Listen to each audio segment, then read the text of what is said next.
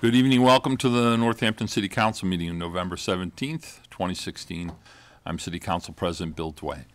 Um, As per our custom, what we're going to do is, uh, before we actually convene and call the roll, uh, we will have our public comment section, which is uh, where the public has an opportunity to speak on any topic. You're not limited by what's on the agenda. Um, But there are some caveats that come with it. We ask that you um, respect the decorum of the chambers. Um, Don't defame anyone. As I've often said, you're welcome to defame us because we're public figures. Um, And I imagine few people are defaming lots of public figures these days, but we'll queue up for that if- as well. But private citizens who are not public figures, we ask you to refrain from naming them unless you're going to sing their praises. Um, When you step up, we ask you to state your name and address as well for the public record. And uh, keep your comments to three minutes or under. It's- It's, and there's a timer that will run. Um, We, we, given, given the fact that we can't start the meeting until public comment section is over, we ask that you keep in mind that if you're suddenly running up against the three minutes and you still have four paragraphs to go, I would ask you to quickly sum, um, s- you know, finish a summation in one sentence, if that's possible. Um, And I think that's it, right? Okay, so we'll start. Uh, First signed up is Gene Page, please. Good evening.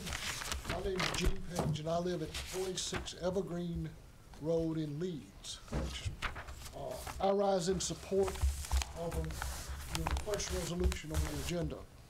Res- Resolution declaring Northampton's commitment to being a safe and accepting community. Uh, I think That won't come off your tongue. Think this is a wonderfully written resolution, and I, I stand before the chamber and- and would request that you uh, adopt it. I- I would like you, however, to consider adding a little bit to uh, uh, this, this, this document. Uh, There are several whereas clauses. Uh, One whereas clause uh, I think is very important is the third from the end. The city council uh, is adamantly committed to protecting this community's residents from racist. I would like to, and other things, I would like for you to add disabled people to that uh, document if you can, okay? And uh, I congratulate the city for, uh, for considering this matter. Thank you so much. Thank you very much. Uh, Janet Gross, please. Good evening. Janet Gross, 38 Round Hill Road. This morning, I noticed a workman installing a new LED to our north, north of the one installed a little over two weeks ago at the entrance of the Developments Drive on Round Hill Road and about 40 feet from our property. I asked the workman why the two streetlights were in such close proximity. He said it was because the property was a school.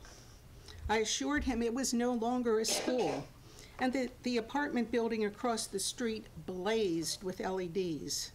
In fact, you could easily play tennis atop Round Hill Road. The workman suggested I work with the city, admittedly, the response I expected, and I will do so tomorrow. Not only are the two new LEDs far too bright and extend well onto our yard, but they will soon be joined by others and expand the Sing Sing-like environment created by existing harsh LEDs that have blazed for three years atop Round Hill Road.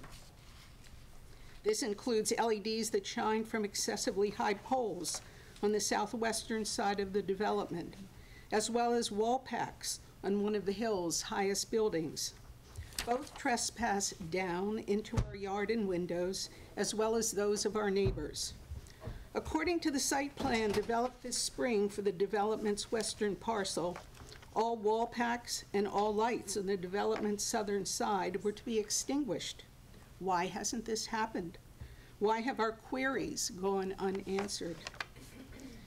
Yes, the new LEDs and the others that will soon join them add insult to injury. Surely the city can wait until more healthful, unobtrusive LEDs are developed. Surely the city can develop guidelines for responsible use of LEDs by all its residents. Surely, we deserve an answer to our queries about the city's failure to meet the requirements of the site plan.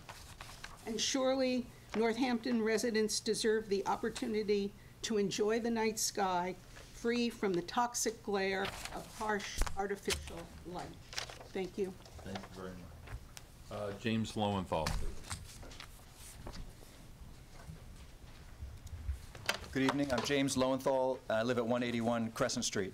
Uh, You've heard from me before uh, about the LED streetlights, which have now started to be installed around the city, including on our street, and including right outside our house. And uh, I've given you a handout with photographs, and I've emailed this to many or or all of you, uh, showing photographs before and after, before the the LED streetlights went in and after. And you can see how much more light there is, how much more glare, how much more light trespass. You can see how the light is now pouring into uh, the windows of all the the neighboring houses, how up and down the street, there's uh, blinding glare, much, much brighter than there, than there was just a month ago with the old streetlights we had. Now, uh, admittedly, uh, the city has taken some important steps that have, uh, that have helped mitigate some of the, the effects. Could have been worse. Uh, I have a colleague who told me just now, uh, it's not as bad as I thought it was uh, com- compared to some other cities around western Massachusetts. Uh, However, that's not saying much. And uh, you can see from the before and after that it, in my case, it's worse than it was. And this has a serious uh, negative effect on my quality of life. And many of my neighbors have said the same thing. People have said things like, on our street, it's like having a loud siren blaring outside your house all night long. Um, uh, somebody else has said, it's like having a car with bright headlights uh, driving down the street that are on all the time.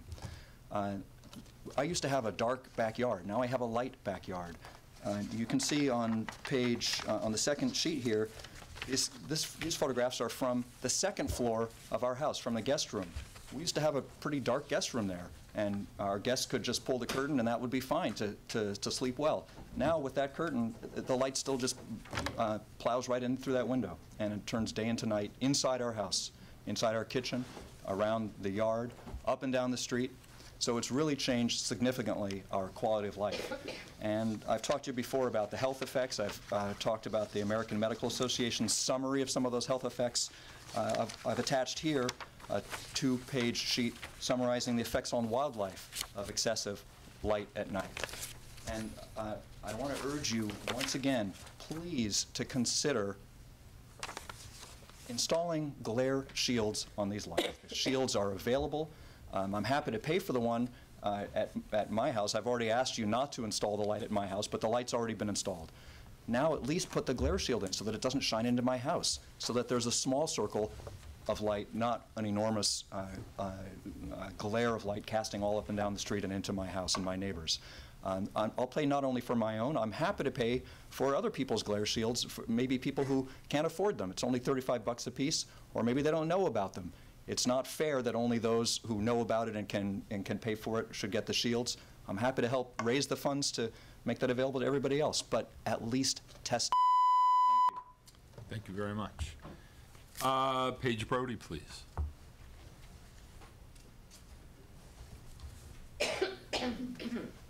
Hi.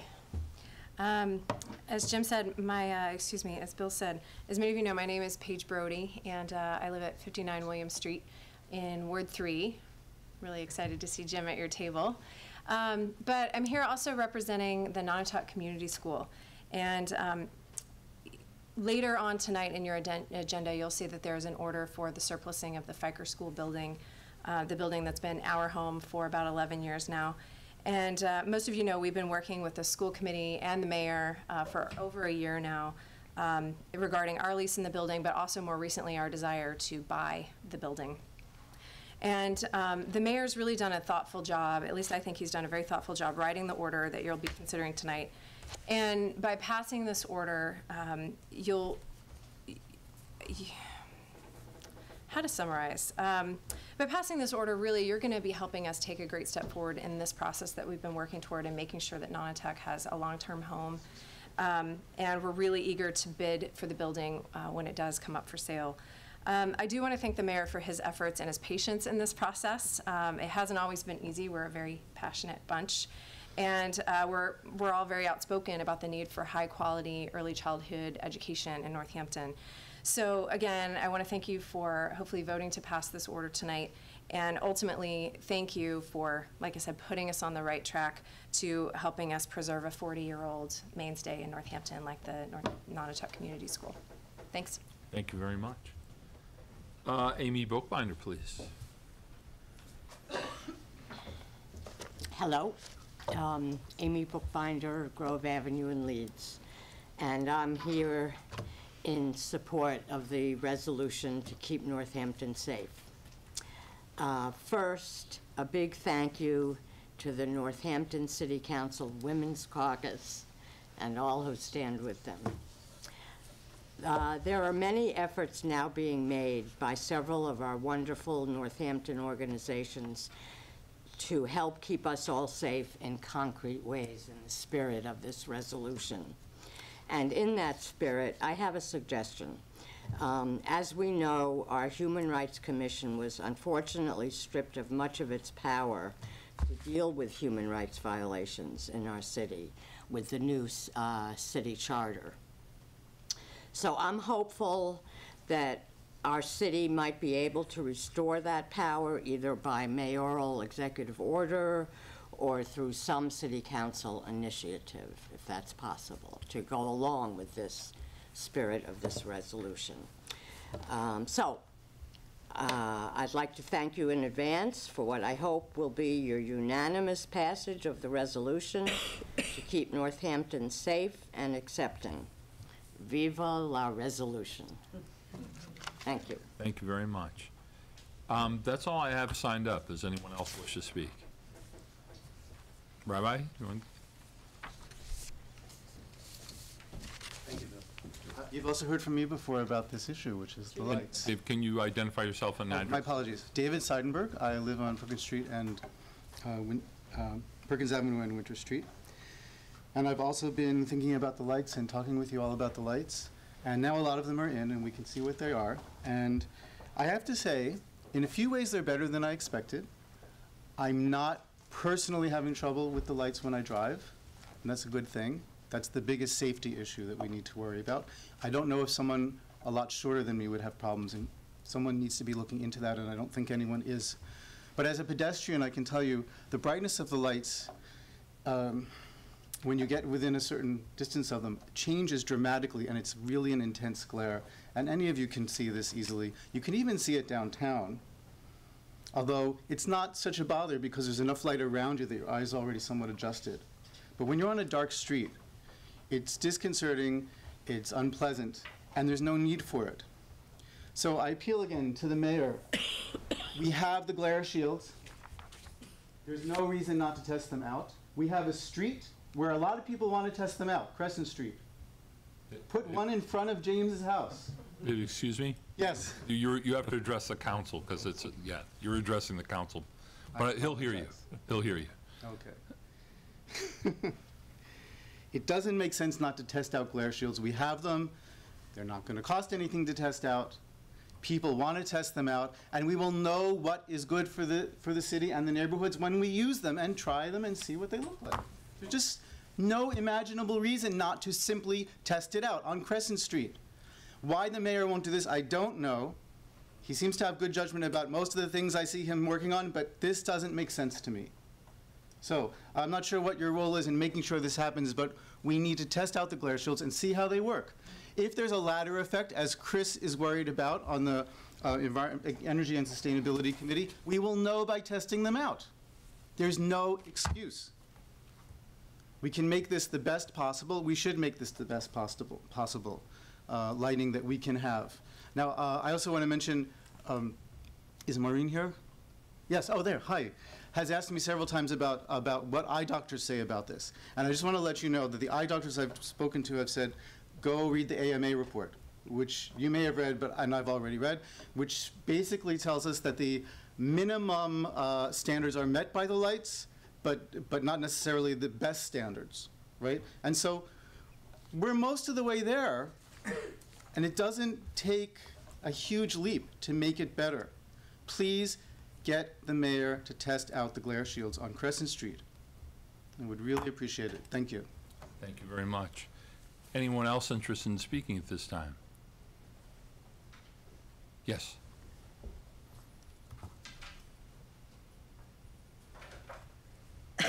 My name is Patricia Wachter. I live at 53 Clark Avenue, right around the corner. And I appreciate the opportunity to speak. I came to talk about the resolution to make Northampton safe or keep it safe. And I just want to express, whenever there is positive action and ways to support, the resolution hopefully will pass. I would like to get involved, and I'm particularly concerned about the Syrian refugees who are going to be coming to our city. And I want to make sure that they feel welcome and that the community figures out a way to express itself in positive ways to them because they're going to be members of our family here in Northampton. Thank you. Thank you very much. Anyone else interested in speaking? No? Okay. I'm going to ask the administrative assistant to call the roll, please. Counselor Bidwell. Here. Counselor Carney. Present. Counselor Dwight. Here. Counselor Klein. Here. Counselor Labarge. Present? Counselor Murphy. Here. Counselor Nash. Here. Counselor O'Donnell. Here. Counselor Sciarra. Here. Um, Before we get started, I, I think it's appropriate to acknowledge the uh, third here, the third to last here we just had. Uh, Counselor James Nash from Ward Three. We now have a full complement of city councils. It's been a while. Jim Nash was actually elected by proclamation. Uh, uh, And, and it- it should be noted, he was the highlight of that election, by the way, um, at least from my, where I sit. Um, And Jim, uh, It Jim. good for about two hours. Yes, you had two hours of pleasure to savor, and then things went south. But Jim will be representing Ward Three, and, um, and, and what I'm gonna also ask the council now, before we get to any other businesses, if you'll allow me to move the last item up to the very first, which is committee assignments. Yes. That Jim will actually have committees uh, as we proceed. Is, is everyone okay with that? Do you want a motion to suspend rules? Yeah, we- Move to suspend that. rule. Second it. Okay, there's a motion and a second to suspend rules. All those in favor, please say aye. Aye. Any opposed? Any abstentions? Okay. So, um, essentially, what you would, uh, Counselor Nash will be assuming are the positions that were vacated with the position uh, that was formerly held by Councilor Adams. Uh, And so that is the Finance Committee, Public Works Committee, and Legislative Matters. Those are your three committees, and um, I know Pam's giving you a rule book, and lots, and any of us will be glad to help you as you navigate this murky course of public service. So. I've said it is now decreed, so there we go. I don't, I don't know what the rest of the process is for that, so. um, Now we go back to the regular agenda. And there are no public hearings scheduled for today. Are there any um, one-minute announcements? Council Klein. Um, I want to announce something that's happening at UMass Amherst, but it's very relevant to members of the Northampton community. Um, the UMass Amherst Department of History, Mount Holyoke, um, Spanish and Latin American Studies Department, and the Smith, Smith College Department of History are sponsoring an information session and Know Your Rights workshop for immigrant students and their allies. Um, and it will be uh, led by attorney Megan Clute. And it's for students and their families, family members, allies from local universities, colleges, community colleges, and also high schools. And I know that there are um, a number of folks um, in our schools, including Smith Voc, that uh, want to uh, utilize this opportunity. Um, It's on Wednesday, November 30th at 6 PM at UMass. in the um, Amherst Integrative Learning Center, room S331. It's free, it's open to the public, it will have uh, translation to Spanish for those that need it. Um, And I think that's all. Counselor Labarge. Yes. Um, The Northampton Disability Commission, Northampton City Council, Northampton School Committee, and the Northampton Human Rights Commission. We are having a special meeting on Tuesday, December 13th, at 4 o'clock PM, Northampton Senior Services Great Room at 67 Conz Street, Northampton. The agenda, film, Life's Worth Living, the subtitle, The Great Fight for Disability Rights. Please join us for a showing of Life's Worth Living, The Great Fight for Disability. Um, This is a film that will last about 50 minutes. We are inviting a lot of agencies, and we're hoping that the school committee does attend. We are looking at eventually doing a resolution on this and involving, hopefully, Councilor Alisa Klein, talked with her. And our big thing here with this is hopefully, our wish, is that we can have this placed in the curriculum in social studies in the schools. So we are very, very busy, and I want to thank our council clerk, Pam, who helped me tirelessly working on this. And right now, I know there's like 47 emails that went out this morning from one of our city employees, Pat Keller, who has and is helping us invite many agencies to this with people with disabilities.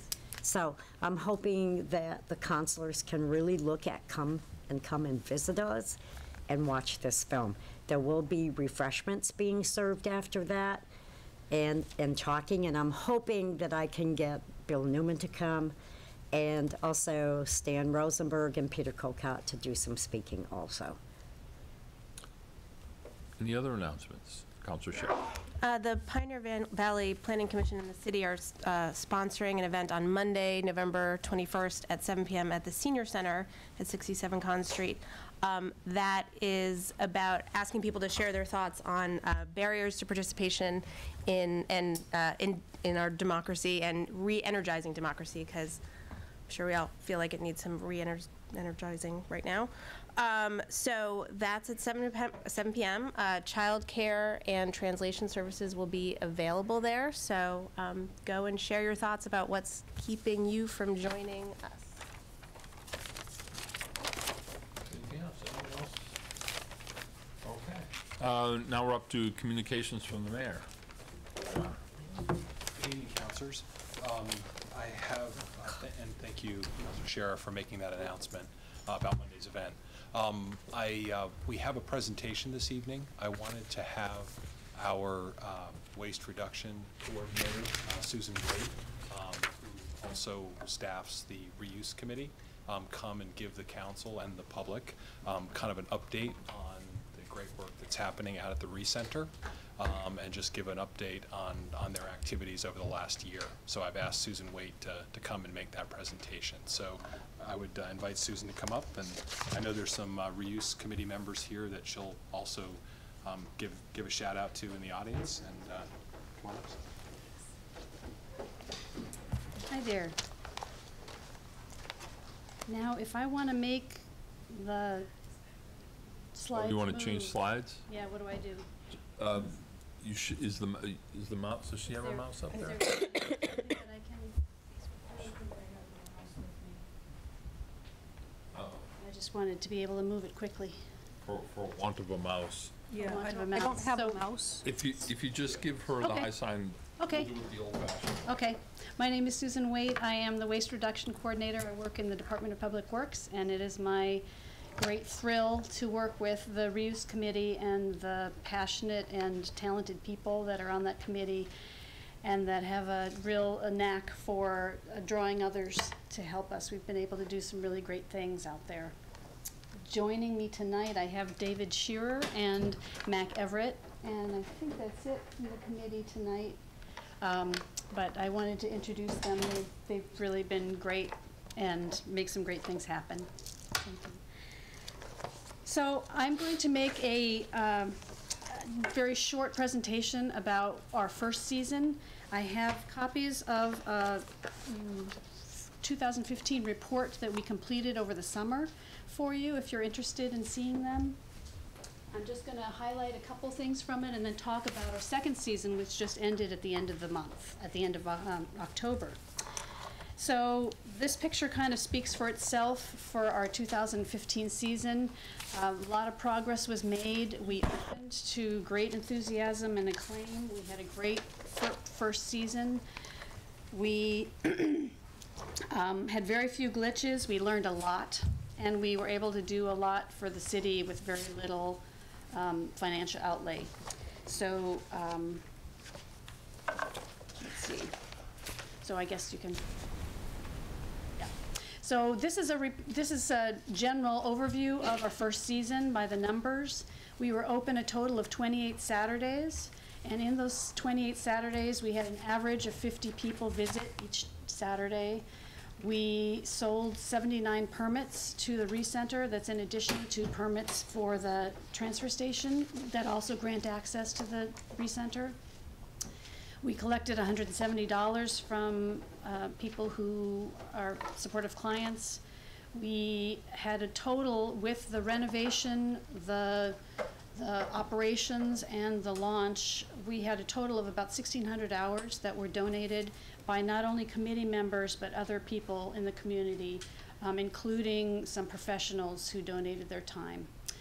Uh, and we estimate the dollar value to be at least $13,000 of that, uh, for that. And the, the coolest thing is that we did a calculation based on the information that we have, and we diverted about 7.3 tons of material from the landfill during our first season of operation. So we came, we discovered some challenges. Um, we found that our data collection system was very cumbersome. We had some safety concerns for traffic flow in the parking lot. We had a leaky shed roof um, in the in the area adjacent to us, and we wanted to expand into that area with some uh, building supplies, and it was leaking. Um, so we had some various uh, challenges, and we were able to overcome many of them over the next year. You can go ahead and.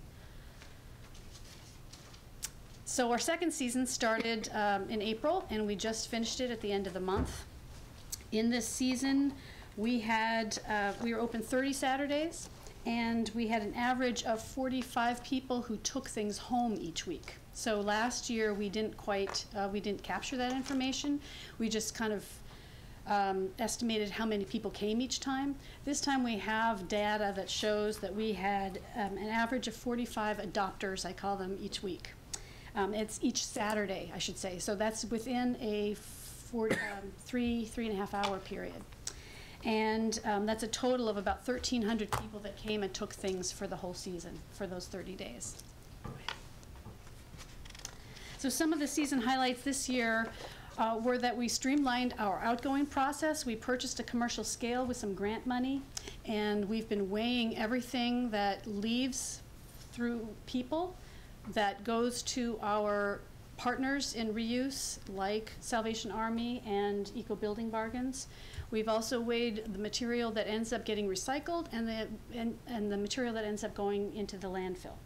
So we have some really great statistics that I'm going to share with you tonight. We expanded into the adjacent area. Uh, we have a new sign. Uh, we uh, some really great community building continues, and I'll I'll talk about that a little later. We're seeing a slow change in the community that's very exciting to us. We're getting a lot of people who are asking about repair options.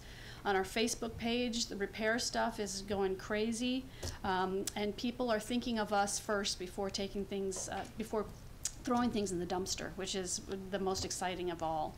Um, we've continued to operate at a very low cost to the city of Northampton. And um, if you, if we, can, we can show some of the, the other great stuff that happened. This is the, the roof shed before Um, there are recent repairs, and you can see in the foreground there are nails popping up, and um, that was repaired. You could go to the next slide.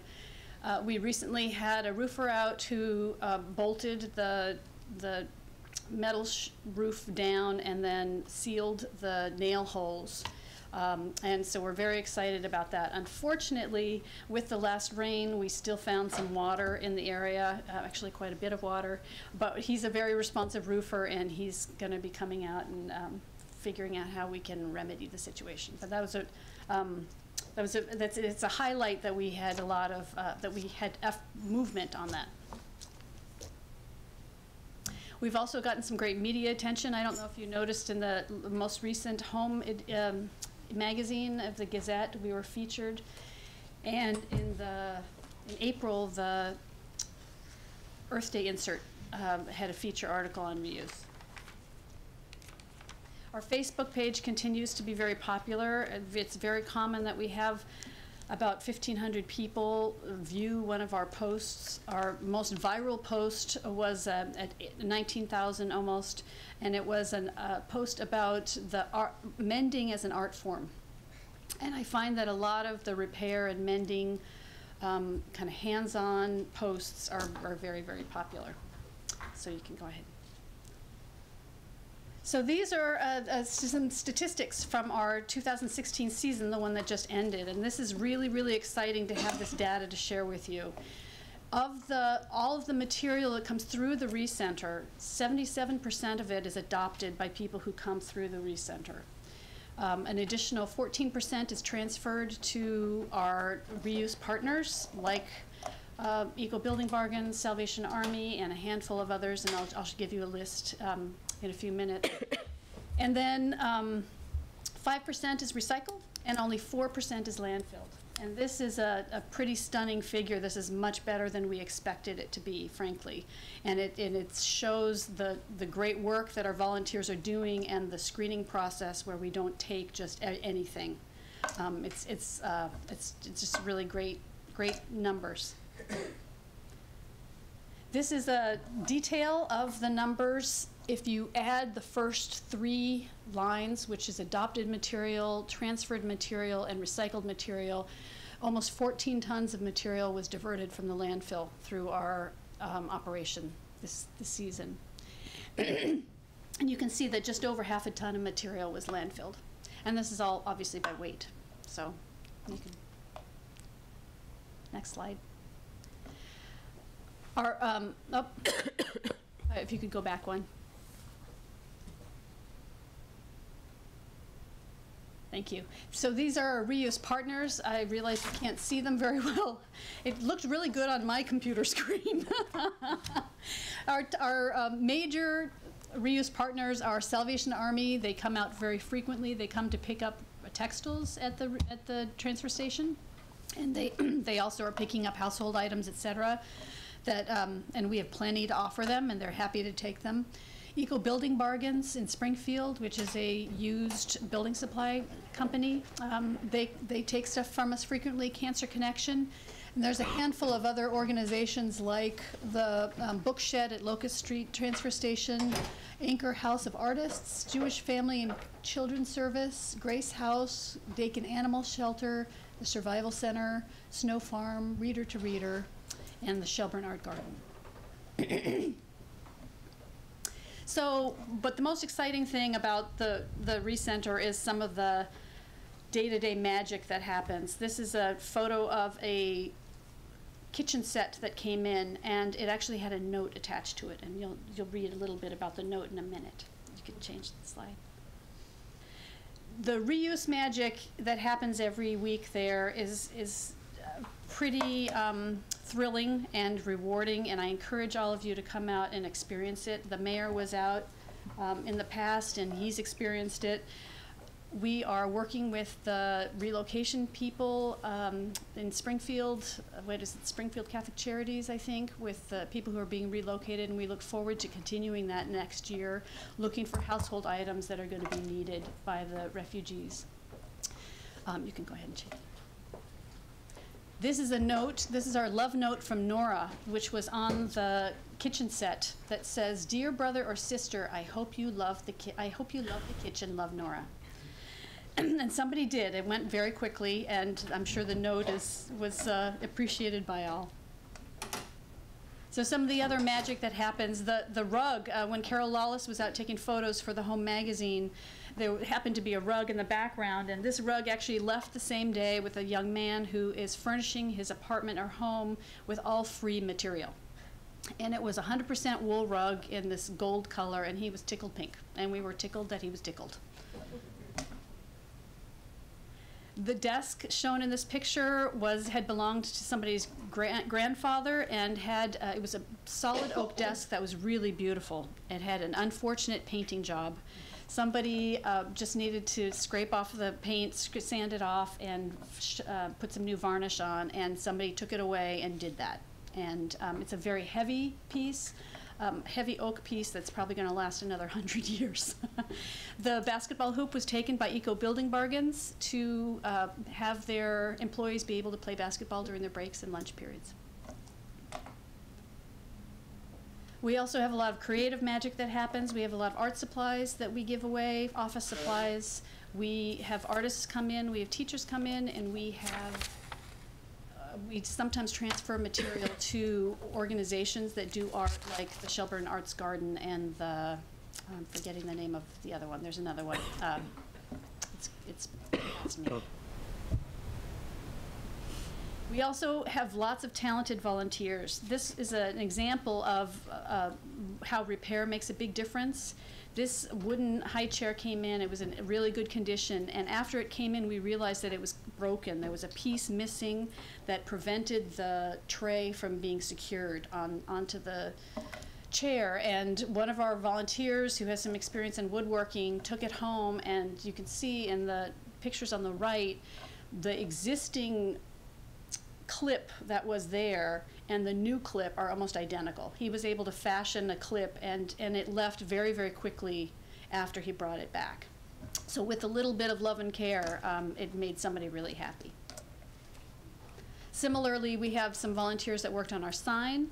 This is one of my favorite stories because we reused the metal sign that's the, the background of the piece. And then the round piece that is, has our new, that sports our new logo is actually a patio table. And if you look really closely, it has a hole in the middle for an umbrella. and our creative volunteers made it happen and it, it looks, it looks good up there, so it's great. I just want to spend a couple of minutes talking about desirability because that's one of the things that we're learning the most about. Um, there, one man's trash is another treasure. I can't tell you how true that is.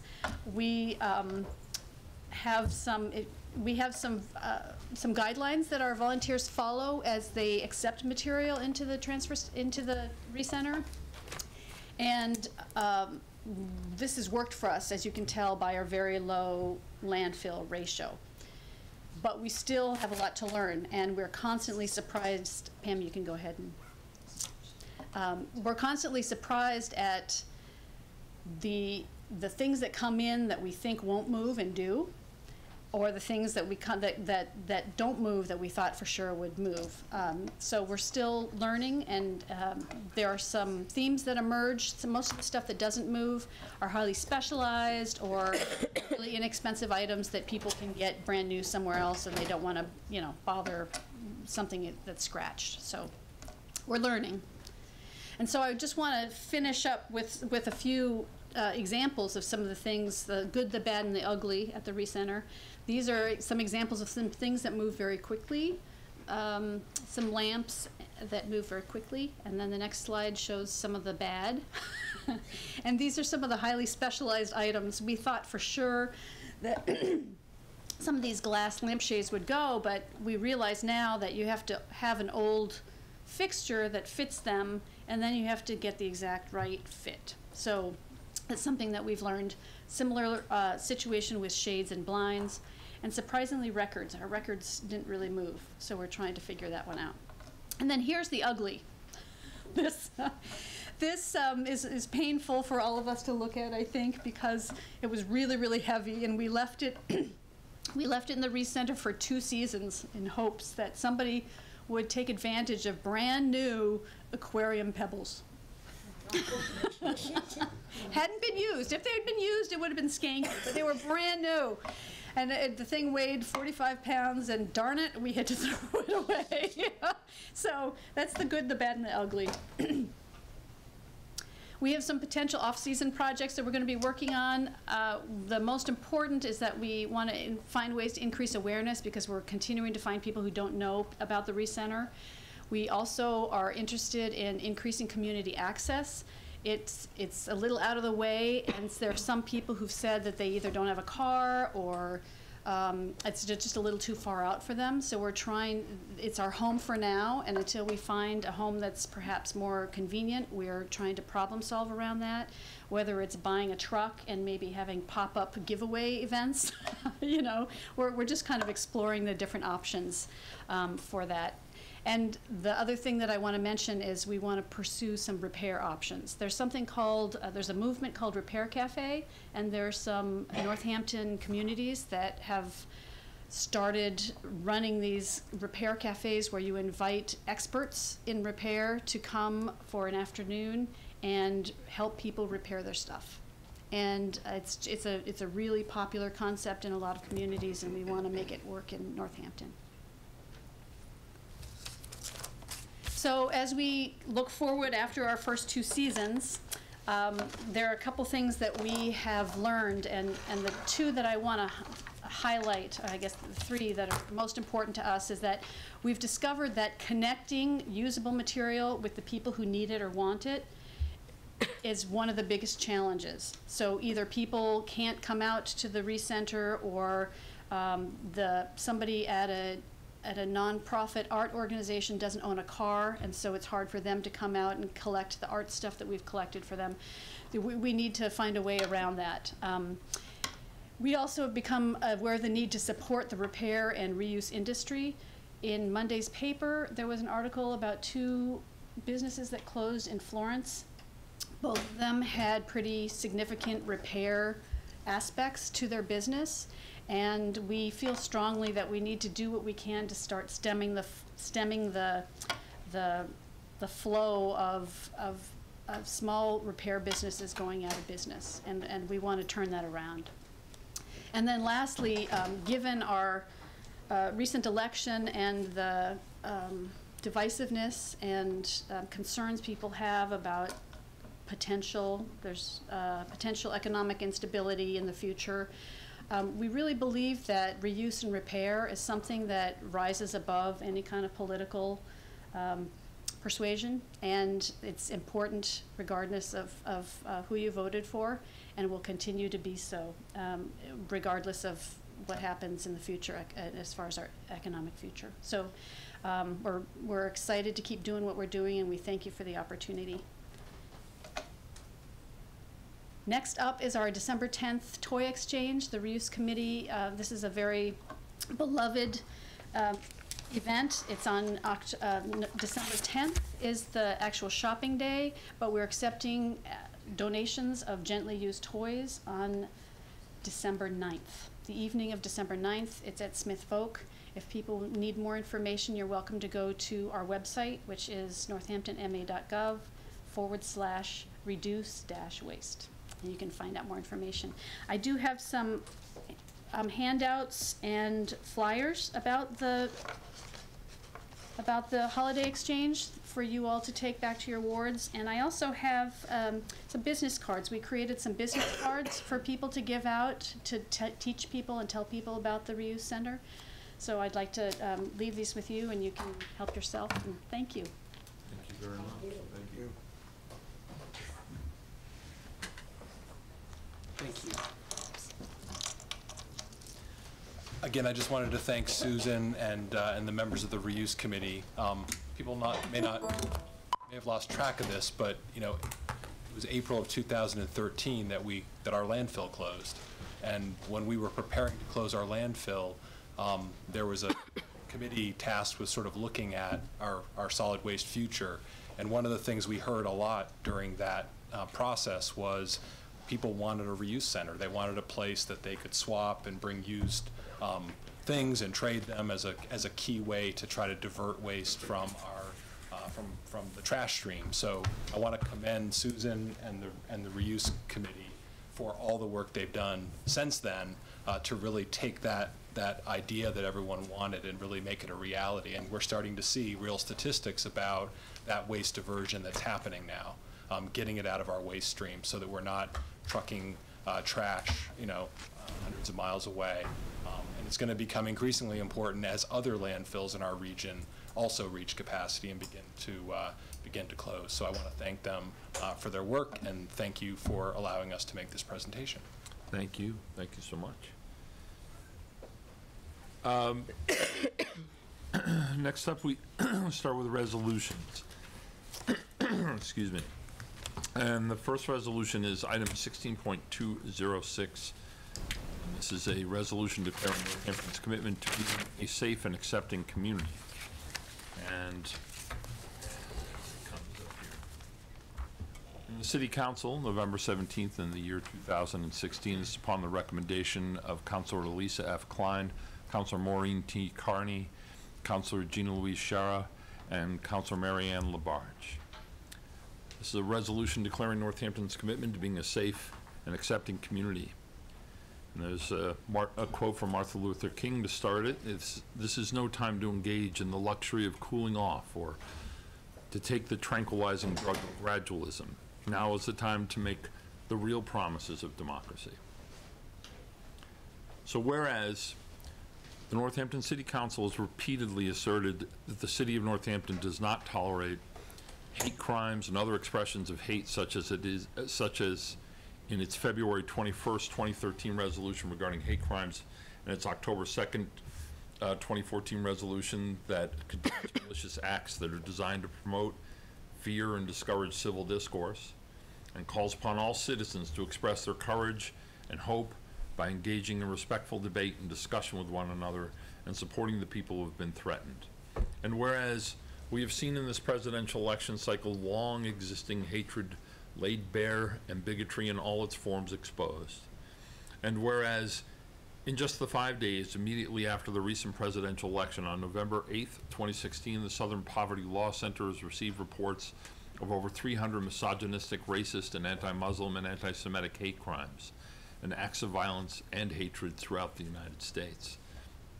And whereas in the, in the days since the presidential election, large spray-painted racist and anti-Semitic uh, symbols and slogans were removed from Mount Tom in nearby Easthampton.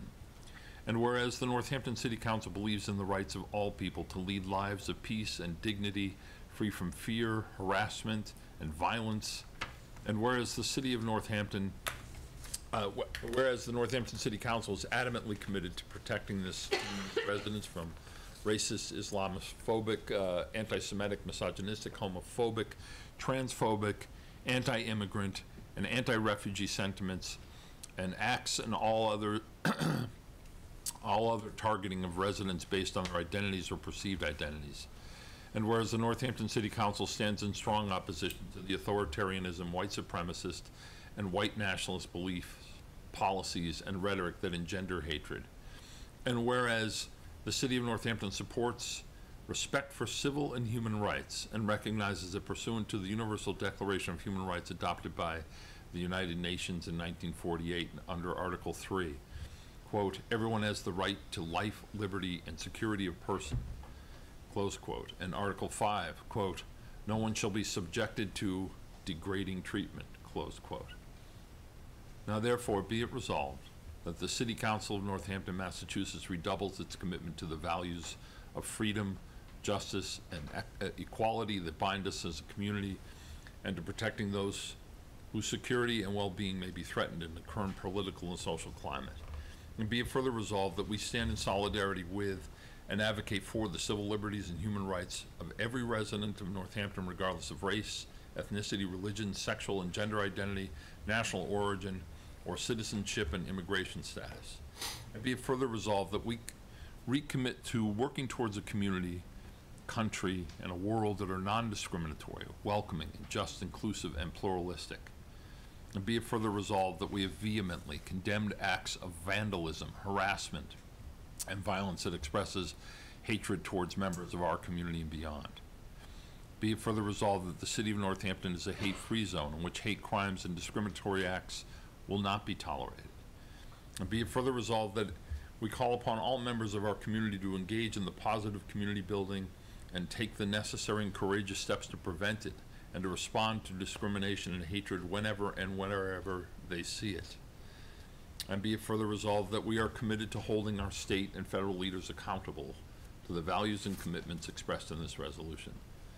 And be it further resolved that the administrative assistant to the city council shall cause a copy of this resolution to be sent to the President of the United States, Barack Obama, U.S. President-elect Donald Trump, U.S. Senators Elizabeth Warren and Ed Markey, U.S. Representatives Richard Neal and Jim McGovern, Massachusetts Governor Charles Baker, Massachusetts Attorney General Maura Healey, Massachusetts Senate President Stanley Rosenberg, Massachusetts State Representatives Peter Kocot and the Northampton Police and Fire Departments. I'll accept a motion, put it on the floor. Uh, discussion. Uh, Counselor Sciarra and then Counselor Klein. Um, I have been distressed by the reports of incidents elsewhere and here uh, since the election, and um, I don't pretend that these incidents only began after the election. Uh, the tension and, and bigotry has, has certainly been there. Um, it's not new, but the uptick is cause for alarm. And we cannot let current events excuse or normalize or normalize it or, or let it embolden those who would try to intimidate or threaten others. Um, I want to acknowledge all the work that we as a city, with the leadership of the mayor, have done before this point, um, and the past times that we have asserted our intolerance for hate speech and acts. Um, we already have a policy in place protecting undocumented residents and visitors that was established by Mayor Narkewicz and uh, supported unanimously by the City Council in 2014. And the mayor has very forcefully reasserted that we stand by that. Um, I also want to recognize the statement made by our police chief, Jody Kasper, this week, stating that the Northampton Police Department stands with those who feel uneasy and will not tolerate hateful acts in our community. Uh, she also highlighted the Mass General Law related to hate crimes that which which protect the residents of our Commonwealth. Additionally, our Attorney General, Maura Healey, issued a statement saying, quote, in Massachusetts, we will protect people's rights, fight discrimination, and keep people safe, end quote. And she established a hotline for residents to report bias-motivated threats, harassment, and violence. Um, we are so fortunate to live in a state and a city with these principles, and instead of being cowed, we are reasserting them with strength. And uh, I can't imagine what it is like to be in some other places right now. Um, those of us that feel safe to use our voice must, and must do it forcefully, and be loud for those of us that don't feel they can. So here in my community, in my city, in the place I was elected to represent, I will use my voice for those that are grappling with real fears for their safety and rights and dignity. And I hope that this resolution works towards that, and I hope that all of you will join us in supporting it. Thanks. Counselor Klein. Thank you, Counselor Sciarra. That was very um, inspiring. Thank you. Um, The two, I, I'm, I'm sorry that, um, now we're in, in closed session, so you, there was a moment before when we started the meeting, and This is my first time here, so I've never done this, but I. perfectly understandable, it's perfectly fine. Um, but you're welcome to share with, uh, us afterwards, then. Please, then- because I, I live here and I, and I, I, I want to live in the same place you live, and I have a story to share right here in this town that is very contrary to what you said, so please, I do, thank you. Thank you so much, thank you. Uh, Counselor Klein. The 2016 presidential campaign and the election outcome have surfaced some deep and painful divisions in our nation and left many people living in increased fear for their personal safety and the safety of their communities. People of color, people of particular ethnicities, particularly Arabs, some religious groups, particularly Muslims, Sikhs, and Jews, but others as well, people with disabilities, gay, queer, transgender people, All feel a heightened sense of vulnerability in the current social and political climate, and some have been physically harmed already. Many are living in fear. Hate-based incidents and crimes from bullying to vandalism to graffiti of hateful symbols and slogans are on the rise. As our resolution says, within the last five days after the election, the Southern Poverty Law Center received over 300 reports of hate incidents and crimes. And these are just the ones that were reported to the Southern Poverty Law Center. The president-elect has pledged to deport millions of unauthorized immigrants, cancel the Deferred Action for Childhood Arrivals, the DACA program, legislation that was passed under President Obama to allow certain eligible immigrant youth who came to the U.S. when they were children to stay in the country, suspend refugee resettlement from what he calls terror-prone countries, and build a wall on the U.S. border with Mexico. Refugees and immigrants, even those who are U.S. citizens or second and even third generation here in the U.S., are living with a new reality of uncertainty about whether or not they're welcome in this country or whether or not they'll be deported and possibly separated from their families. These policies threaten to tear families apart and to destroy, to really devastate communities. After the election, the Black Lives Matter Global Network issued a statement that said, in the three years since Black Lives Matter organized, we've asked white people to organize their communities, to courageously help their loved ones understand the importance of solidarity, and to show up for us, for themselves, and for democracy. But, the statement says, they feel betrayed. The statement expresses concern that, quote, the violence the president-elect will inflict in office and the permission he gives for others to commit violence is just beginning to emerge. The statement goes on to say, how do we reconcile the knowledge that more than half of white voting Americans believe a white supremacist can run and should decide what's best for this country? This resolution says that now's the time for us to answer these concerns and to exercise something called um, civil courage. It's a concept that comes out of Nazi Germany. It essentially refers to individuals and communities' will to stand up to hatred, bigotry, and tyranny instead of standing by it or remaining passive in its face. Civil courage is about strengthening our communities to push back against bigotry and building organizations and networks to push back as well. It means being a person of conscience and being a community of conscience that actively works to protect those who are vulnerable while simultaneously fighting oppression. This resolution is an opportunity for this council to not only take some leadership in making Northampton a place that won't tolerate bigotry and injustice, but to encourage civil courage in every person in Northampton to act to provide protection and safety for our vulnerable residents. We have to address hatred and bigotry head on because history has so very painfully demonstrated how policies and actions predicated on bigotry can lead to the most horrific outcomes imaginable. This resolution is about affirming our commitment to being a community rooted in compassion, love, and justice, where every individual every individual, no matter their skin color, no matter where they're from, no matter what their religion or sexual or gender identity, or whether they're able-bodied or have a disability, is safe, seen, and loved. And I hope my fellow counselors will support this unanimously. And I'd also like to say thank you so much to the co-sponsors, my co-sponsors of this resolution for working on this and um, bringing it to the floor. Thank you.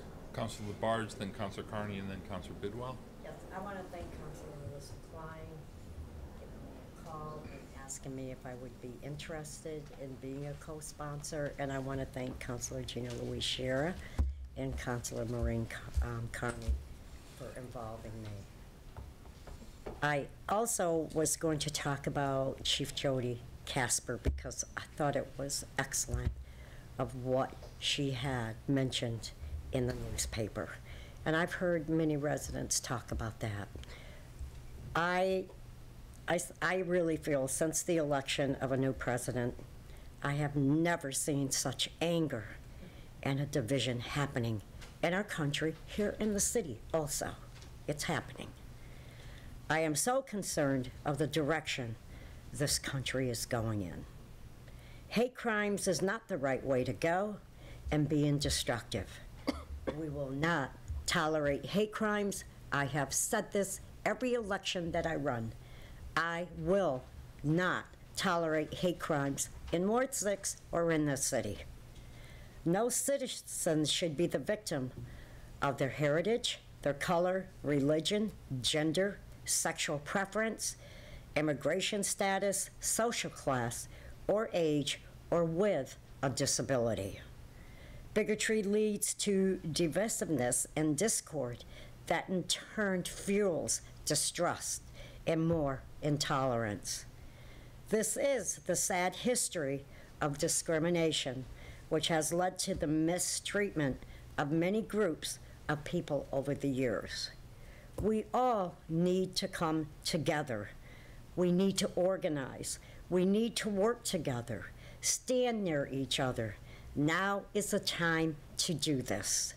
As a city councilor, I feel it is our job to make sure every child and their families, people who are disabled, and our seniors and visitors who come to our city, that they do not feel they are in fear. And they are given a good quality of life and a feeling of being safe and are given respect and dignity in our city of Northampton. Thank you.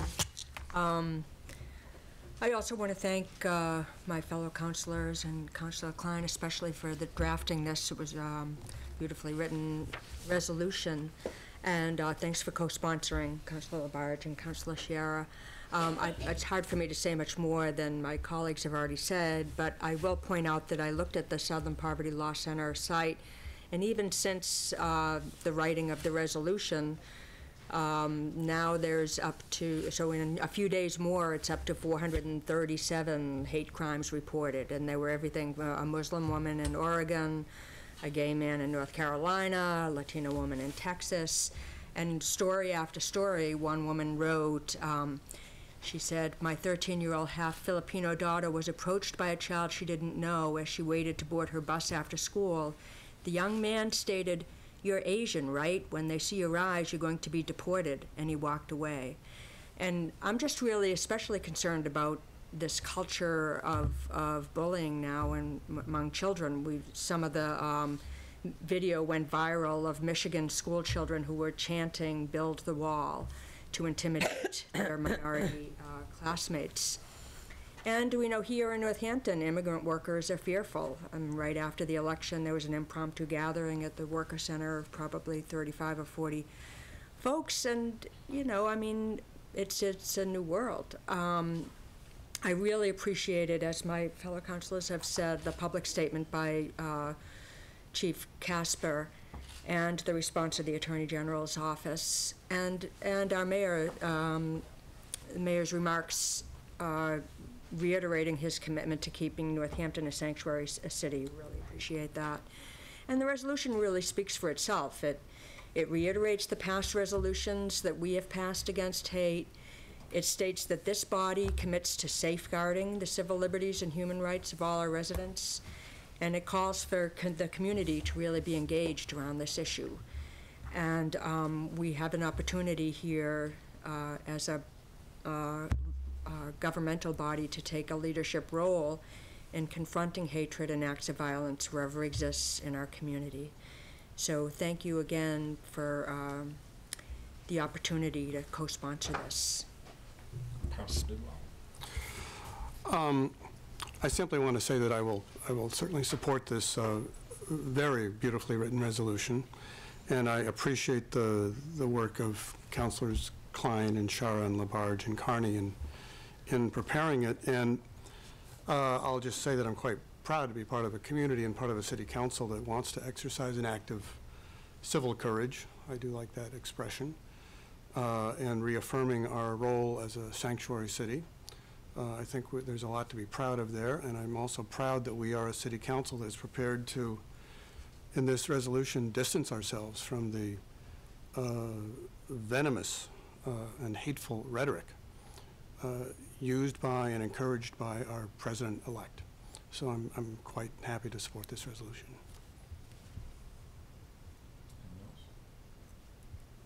Um, I would just add that, um,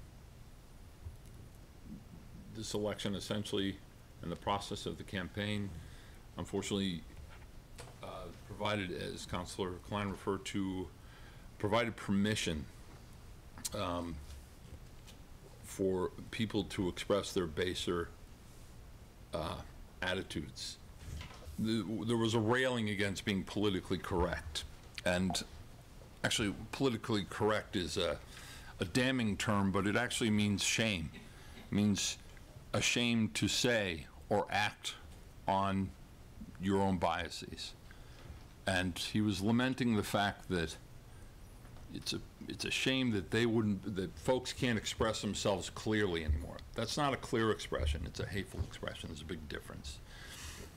And we're, I- think the biggest charge here, you know, the nature of resolutions, this doesn't carry the weight of law.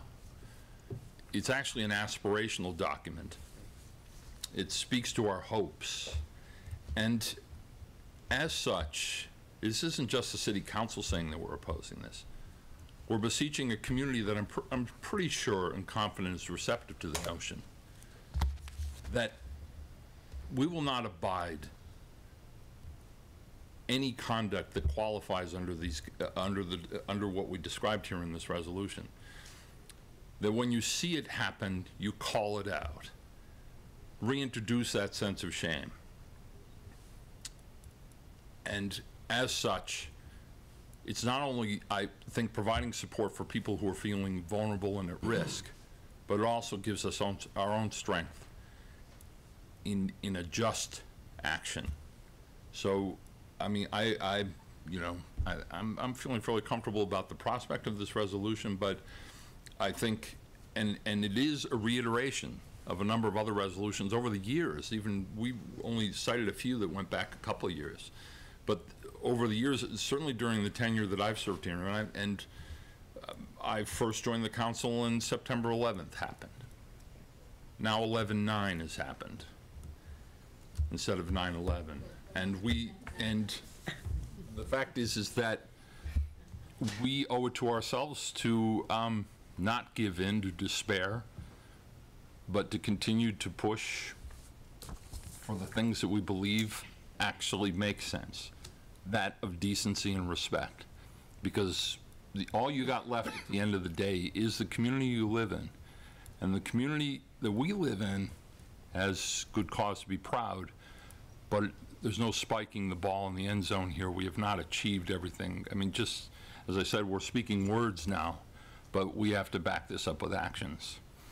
And um, I'm confident that the community's prepared to commit to that.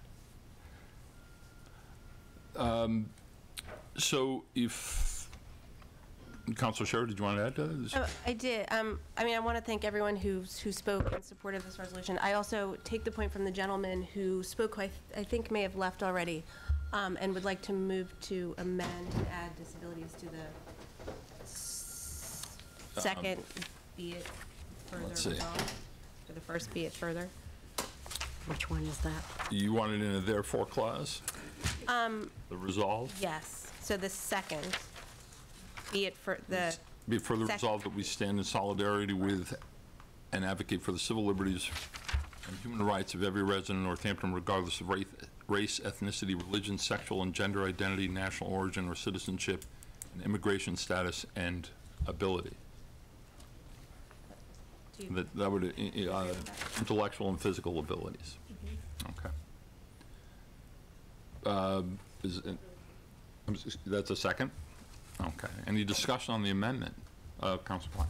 I just want to say, as soon as I um, sent this in and kind of read it again, I said to myself, that is something extraordinarily important that I, I left out of the, the drafting. So um, I would support that absolutely. I think it's important to be Discussion on the amendment, Council Labarge? Yeah, um, with a resident in Ward 7, um, we had talked before city council, and he had mentioned um, on page, well, the second page, the first paragraph about um, disabilities be included in that, and I felt that was important also. Any discussion on the amendment, Council?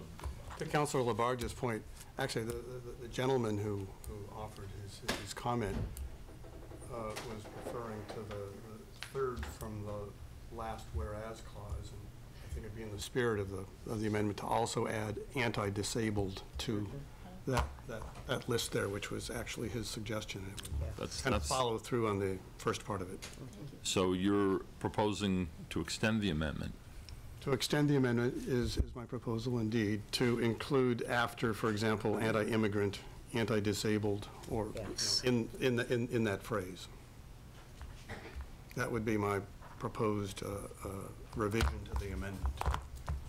I'd ask the like original proposer of the amendment if you have any objections to that- that addition. I'm just trying to find it, but I'm sure that I do not. It's the second paragraph. It's actually the. I mean, the first paragraph on the second page. Third from the last whereas. Yes.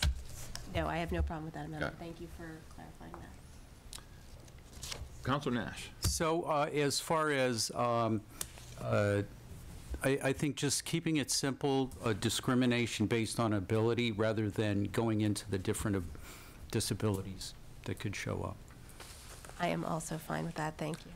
All right, so for Pam's purposes, the amendment now uh, reads, the, the proposed amendment is, um, first to start off with the third to last, whereas the Northampton City Council is adamantly uh, committed to protecting this community's residents from racist, Islamophobic, anti-Semitic, misogynistic, homophobic, transphobic, anti-immigrant, and anti-refugee sentiments. Um, bef- uh, after anti-refugee sentiments, um, and how did you put it, Jim? What was it, uh, Counselor Knapp? I was commenting on the earlier one. But it would, it would it would fit in both, so. Well, this is the one I did, I was trying to figure out how to wordsmith that in there. Um, Anti-disability, I suppose, or, Yeah, but because this is a listing of anti, so, so anti-disability, okay. And then the uh, resolve would be, the be further resolve, which is the second uh, one, which will now read, be further resolved that we stand in solidarity with and advocate for the civil liberties and human rights of every resident of Northampton, regardless of race, ethnicity, religion, sexual and gender identity, national origin or citizenship, and immigration status and ability. Is that,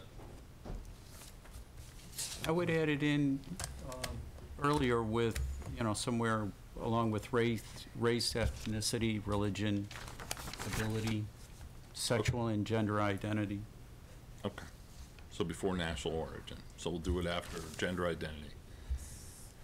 Of race, ethnicity, religion, disability. No, ability. Ability. Regardless of race, ethnicity, ability. Okay, so as, as that is read, um, any further discussions on the amendment? So this is a, this is a voice vote for the amendment, so all those in favor of the amended language, please say aye. Aye. Aye. Any opposed? Any abstentions? All right, now back to the original resolution. Uh, Any further discussion on the resolution? Um, What's the council's pleasure, roll call or voice vote? Roll call. Roll call, please. Counselor Bidwell. Yes. Counselor Carney. Yes. Counselor Dwight. Yes. Counselor Klein. Yes. Counselor Labarge. Yes. Counselor Murphy. Yes. Counselor Nash. Yes. Counselor O'Donnell. Yes. Counselor Sciarra. Yes. Passes unanimously in first reading. Uh, There will be a second reading at our next council meeting where we'll uh, come up with the final vote. Uh, Speaking of final votes, we're at the second vote for um, item 16.191. That's a resolution in support of uh, House Bill uh, 1769. That's the Massachusetts Pregnant Workers Fairness Act. Move approval.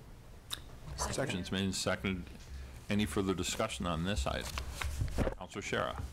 Um, I, I spoke extensively about this resolution and the state bill it supports two weeks ago when it was introduced. Um, That now feels like it was a lifetime ago that we introduced it. Um, I and others called this bill a matter of common sense and basic human decency. In the intervening time, uh, it's become clear that we can't take either of those things, common sense or basic human decency, for granted. Um, So we must demand them and we must fight for them. We must demand that health and safety for women are respected. We must demand equality for women in the workplace and everywhere. Um, This bill provides equal protection for pregnant women who need temporary accommodations at their work. It's absolutely true that this is the least we can do, and in this moment, I also don't take the least we can do for granted. Um, I thank everyone for their vote last time. Um, I welcome those who were not here last time to, to vote on this. Um, And I ask uh, for us to do it again, and this time I ask that it have the full weight of your support for equality and justice for women. Any further discussion on this item? Counselor Bidwell. I would just add that as a counselor who was not here two weeks ago, um, watched it on TV, was very impressed with the the way it was uh, presented, and I will uh, very enthusiastically support this resolution tonight. Any other discussion? Counselor Nash. Well, I wasn't here, oh, I was over there two weeks ago, and, um, and I was really impressed with it, and I will vote to support this tonight as well. It's a pleasure to vote on this. All set? Uh, Council's pleasure, relative to the vote? Roll call. Roll call, roll call, please. Counselor Carney? Yes. Counselor Dwight? Yes. Counselor Klein? Counselor Labarge? Yes. Counselor Murphy? Yes. Counselor Nash? Yes. Counselor O'Donnell? Yes. Counselor Sciarra? Yes. Counselor Bidwell? Yes. That passes in second reading unanimously. Next up, we have the consent agenda. Uh, This includes item 16.174. That's to approve the appointment of Ann Brooks as a planning board representative to the Community Preservation Commission. Uh, Ms. Brooks received a positive recommendation from the Committee on City Services on November 7th. Um, And also to approve the city council minutes from November 3rd, 2016. Move to approve the consent. Second. Motion's made and seconded. All those in favor of the consent agenda, please say aye. Aye. Aye. Any opposed?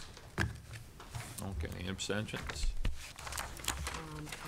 Now we recess for the Finance Committee. Oh, Councilor Barge? Yes. Um, On the calendar, if you look for Thursday, December 7th, then we have December 21st, then we have also Tuesday, December 26th. Uh, Um, I'd like, a mo- are you talking about that? Well, no, that's a finance, that's a finance agenda. That's, a yeah, well, I haven't gotten there yet. We're almost there. We're inches away. Uh, we, re- we're going into recess for the Finance Committee. Uh, Counselor Murphy presides over the Finance Committee, and there you go. And I, I suspect Counselor Labarge has an item she wants to mention. I see that coming. So Pam, could you uh, call the roll of finance, please? Now that we have a full committee Counselor Murphy? here. Counselor Carney? Present. Counselor Labarge? Present. Counselor Nash? Here. Welcome, Counselor Nash. Thank you. Uh, First thing is to approve our minutes of October 20th. Do we have a motion? Move to approve. Second? Second? Any discussion? All in favor? Aye. Aye. Opposed? I'm abstaining. I I wasn't part of. You weren't. All right. So noted. Uh, Now we're along to the schedule for 2017 meetings, and these are all meetings that are attached to council meetings. We sometimes will meet on the fourth Tuesday outside of council, but only when necessary, and uh, something has to come up. Usually, the finance director has something uh, special that we'll deal with outside of council. But again, the meetings that are on the schedule uh, should only be the ones attached to council meetings, correct? Pam? Uh, Well, you're also looking at the ones for Tuesday. Yeah, they're darkened. Oh, the darkened ones, all Darkened right. on your agenda. But the two, again, the, the- the ones for the uh, fourth Tuesday are, you know, we'll announce them, they aren't set in stone. We'll announce them if there's something that needs to come before us, which has been our tradition. We don't always do them, we do them when something's necessary, so. we're We cancel more times than not unless there's something special. We, we generally like to do business inside council, so all the councilors can uh, be privy to what's going on in finance. Uh, Counselor, did you have, uh, Yeah, I was concerned because we're looking at December 7th, December 21st, and then again December 26th. I was looking at doing a motion to remove that Tuesday, December 26th. um, It's not very likely it's going to happen. It, yeah, it's not, it's going to happen, but if you want to remove it, if you, somebody want to second that suggestion, we remove it? On finance? Second. Second? Sure. Any discussion on that one? All in favor? Aye. Aye, opposed? There you go. I think the odds of that one happening were slim to none anyway. All right, and uh, that was uh, just the motion to remove that. Uh, Given that it's been removed, all in favor of the remainder of the schedule? Uh, we have a motion on that? Aye. Second? Second. Okay, more discussion? All in favor? Aye. Aye. Good, all right. Then on to the uh, items on the agenda. We have a number of them. Uh, Mr. Feiden's going to be busy tonight. Uh, First one uh, is 16.196, in order to purchase 20.7 acres on Water Street in Leeds. Order that, whereas the Open Space and Recreation Plan 2011 to 18 recommends preserving open space to expand the Sawmill Roberts Hill Conservation Area to the north, and whereas the owner of a 20.7 acre parcel located on Water Street in Leeds, the only parcel that can achieve this goal has agreed to sell their property for $85,000. Whereas this purchase will provide uh, more passive recreation opportunities and provide a walking linkage from the center of Leeds to the conservation area, and whereas funding will come from the Community Preservation Act and other grants and community contributions, uh, Now, therefore, order that the Conservation Commission is authorized to purchase or otherwise acquire for conservation and passive recreation purposes as provided by Mass General Law 40 subsection 8C, any fee, easement, or conservation restriction as defined in Mass General Law 184 subsection 31, or any interest in the above land and any immediately adjoining land with such related restrictions and agreements as the city determines are agreeable, and further, the city council hereby accepts such conservation restrictions, further that the Conservation Commission is authorized to grant conservation restrictions on any land so required. We have a motion of finance? Make a motion. Second. Second? Time for Mr. Feiden to come up and tell us about this. So, um, thank you. This is a a gorgeous piece of property in Leeds. Uh, We've owned the uh, Sawmill Hills, Roberts Hill section of land for 30 years, I think. Um, Council's approval, we just purchased some land on Reservoir Road about six months ago. Um, On this map over here, what we've owned for years is, you just see a little bit of the green, it's the south. The land to the west, that green that goes up, is the land we just purchased recently. This sort of is the last piece of land we're trying to fill in.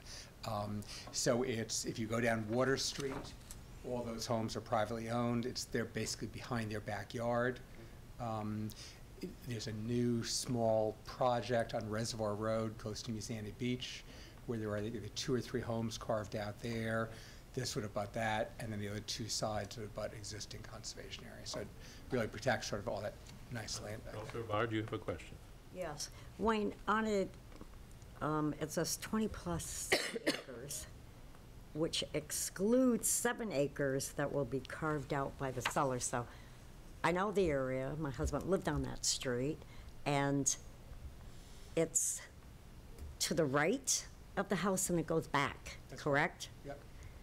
And so they are keeping, because I know the owners, they are keeping, what, seven acres, and they're So- going to, So two areas. Yeah. So as you say, they they have a house on Water Street. Right. They're keeping a small amount of land there, about half an acre of land is, but, so their, their house lot itself is in a different property.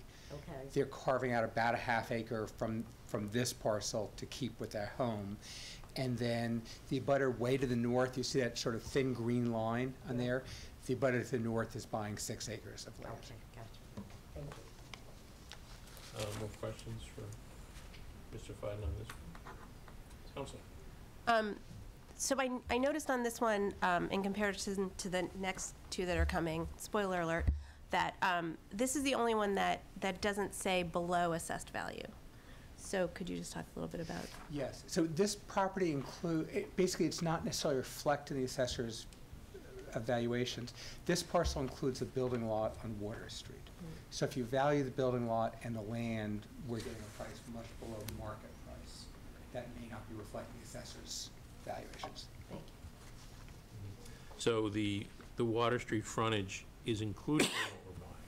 That's correct. So Right. the property owner is keeping their house and some of the frontage, but we're buying enough frontage that one theory could have done another building lot there as well. Is it possible when this comes around for second reading in council, we could have defined to us totally what land is comprising that seven acres on the map?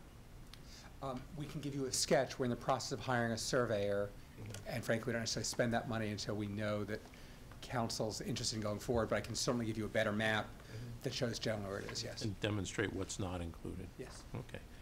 Any other questions in finance?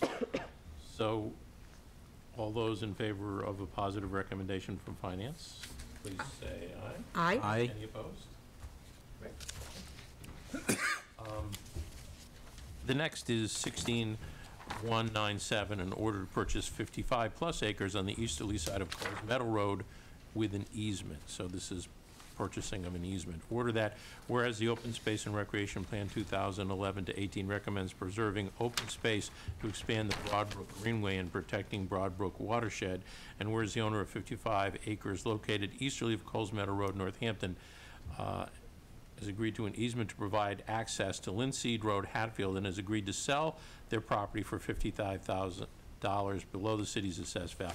Whereas this purchase will link the Broadbrook Greenway, providing a new walking opportunities for Northampton residents along an attractive ridge, and into Hatfield, providing additional collaboration opportunities with the town of Hatfield. And whereas funding will come from the Community Preservation Act and other grants and community contributions, now order that the Conservation Commission is authorized to purchase or otherwise acquire for conservation and passive recreation purposes as provided by Mass General Law 40 subsection 8C, any fee easement, conservation restriction as defined in Mass General Law 184 subsection 31, or any interest in the above land and any immediately adjoining land with such related restrictions and agreements as the city determines are agreeable. Further, that the city council hereby accepts such restrictions. Further, the Conservation Commission is authorized to grant conservation restrictions on any land so acquired. We have a motion in finance? Make a motion. Second? Mr. Feiden? So um, this property is be part of the Broadbrook watershed. It's important as part of preserving that watershed, although it's across Coles Meadow Road from the majority of the, of the land that we already own. Um, The property right now is, has frontage on Linseed Road in Hatfield. We don't want to own land in Hatfield, so from Linseed Road to the Northampton Town line, we would just be acquiring an easement for public to pass. And then all the land in Northampton, we'd be acquiring to add to the Broadbrook Fitzgerald Lake Green. Uh, question, Counselor? Um, the other frontage, I- I I can't tell by the map, does the other frontage actually go to Coles Meadow Road? It doesn't right now. There are a couple opportunities to get there, and we're hoping to do that, but it There's a doesn't. wetland that's, it- seems there's wetlands there. Is that what this, There is some wetlands in that, in that closest point. There's a couple of opportunities there. There's one lot, for example, that is unbuildable. Um, We could certainly put a trail in, but again, we don't, you know, we will hope to come back at some point with a sliver to get us out to the road. and the easement with uh, Hatfield, I mean, is, has Hatfield been apprised of all this? Are they up to speed and? We, yes, I, we can't make an offer yet because we're still waiting, but we've talked to the Open Space Committee. They're approaching their Community Preservation Committee process. I'm not quite sure how it works there. And uh, at least tentatively, we hope that they're going to pay for the survey cost as part of this. So they're very interested. They, whatever their political process to get their approvals, they're going through for that. So, uh, other questions, Counselor, you have anything? So we're purchasing outright the Northampton tract, and we're taking a conservation restriction on the Hatfield tract. An easement. on a Easement. conservation- Easement. Right, right. And it's 55, what is actually the purchase price since we're really in here? Fifty-five thousand dollars. Okay, well, below the amount, okay. And who's the seller of this parcel? It's Corza, Corza and Labby. Oh, Richard Corza is what I'm dealing with, and I'm not sure if the others are sisters or, I'm not sure of the relationship. They're all related. Yeah. Yeah, very good. Uh, Any other questions in finance? Then all in favor of a positive recommendation? Aye. Aye. Any opposed? Great. Uh, Next one is another purchase, 16.198. Purchase 30.7 acres in the Mineral Hills Conservation Area. Order that, whereas the Open Space and Recreation Plan 2011 through 18 recommends preserving open space to expand the Mineral Hills Conservation Area southerly to connect to Route 66, and fill in wildlife uh, and walking trail gaps, and whereas the owner of 30.7 acres located on Westhampton Road, Route 66, one of the gaps between Mineral Hills Conservation Area and Turkey Hill and the Mineral Hills Conservation Area south of Route 66 has agreed to sell their property for $125,000, which is below city assessed value. And whereas this purchase will build the Mineral Hills link and help achieve a priority parcel for both ecological linkage and climate change adaptation, that's a new one. And whereas funding will come from the Community Preservation Act and other grants and community contributions, order that the Conservation Commission is authorized to purchase or otherwise acquire for conservation and passive recreation purposes as provided by Mass General Law 40C, uh, 40 subsection 8C, any fee, easement, or conservation restriction as defined in Mass General Law 184 subsection 31, or any other interest in the above land and any immediately adjoining land with such related restrictions and agreements as the city determines are agreeable. Further, that the city council hereby accepts such conservation restrictions. Further, that the Conservation Commission is authorized to grant conservation restrictions on any land so required. Do we have a motion? Motion. Second? Second? So, um, with, with your support, we purchased a lot of land from the Mineral Hills Conservation Area along Turkey Hill Road, and uh, you've recently approved us buying some additional land south of Route 66. Sort of aspirationally, we've all, we've called it all Mineral Hills Conservation Area, even though it's sort of like a jigsaw puzzle with pieces missing. Um, So it- it's not a continuous piece, but we have a clear plan that we hope to make it continuous at some point. This is really sort of one of the key connectors between Mineral Hills to the south and Mineral Hills to the north. Again, it doesn't bring us there the whole way, but it brings us partially there. Um, Really attractive piece of land, rich mineral history, uh, spectacular views in part, and, and links these, these two areas together. Um, The Open Space Institute and Nature Conservancy have begun making maps, thinking about climate change in a sense of continuous areas. So we buy a lot of open space that's really important ecologically. But one of the things that OSI and Nature Conservancy have stressed is, you know, if both wildlife and tree species and plant species are going to be slowly migrating north, a gorgeous piece of property that's not part of a continuous area isn't going to allow migration. And so they've been mapping areas in Northampton, you can sort of guess it's the western part of the city, and then going all the way out to the Berkshires, as places that creating continuous tracts of land, like exactly what we're trying to do for the Mineral Hills, is important to allow that migration. So it's not the primary reason we're buying this, but it's one additional piece for it. Wayne, the, at hundred and twenty-five thousand, at thirty points, what, plus seven acres, did they come to you, or did you go to them? We went to them. Okay. My question is, at the thirty-something plus acres, is it, can you also build homes on it? So one could build one home on the property. So they bought a building lot to the east of their house to protect their, their view for $125,000. I know exact, I've um, been there, I know where So- that So we're buying that building lot, and then we're buying the backland. So the backland behind them frankly has very little value. So, so the value is all in that building lot, and then the backland is important for connection. So, when they, he's an attorney, and when they built their home, it took them like about a couple of years to build that house, it's gorgeous. They bought that other lot, correct? For their privacy. So now we're buying it? That's correct, because, because we're not going to build on the property, they're going to retain a scenic easement. Okay. So they have the right to cut trees on what becomes our property, which is fine with us. We're agreeing where we put a trail on the property, so it wouldn't be crowded. So they get to, I mean, we all benefit. You know, we, we get that land for what they paid for it, and then we get the back land, in essence, for free. They get a use that they're not worried about. You know, they wouldn't want a 4,000 square foot house that's their primary view looking out their window. They're fine with the, the conservation uses that we put in. Have you ever seen the wildlife that's out there? It's unbelievable. It's a beautiful piece.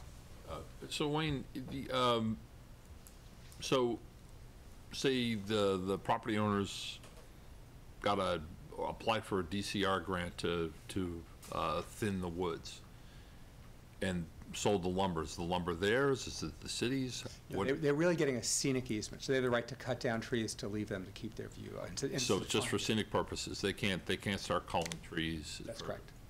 And, So they wouldn't qualify for a DCR grant then, in all likelihood. Okay, thank you. And, and, and so it's clear, we're not giving up our rights. If we, if we want, currently, we're not harvesting any conservation areas, but if we wanted to, that would be our right to do. They just want to make sure the trees don't grow up and block their amazing view. So we still, we still have the means to do forest management should it come. That's correct. Uh, Wayne, on, on, on the map, if, if you could scroll to the lower portion of it. um, like, What, what, what are, what what are those numbered X's? Oh, I'm sorry, I probably shouldn't have shown that. We were just, to try to figure out where we were and to create the lines, we went out and GPS those points. Um, So for the most part, those are just waypoints.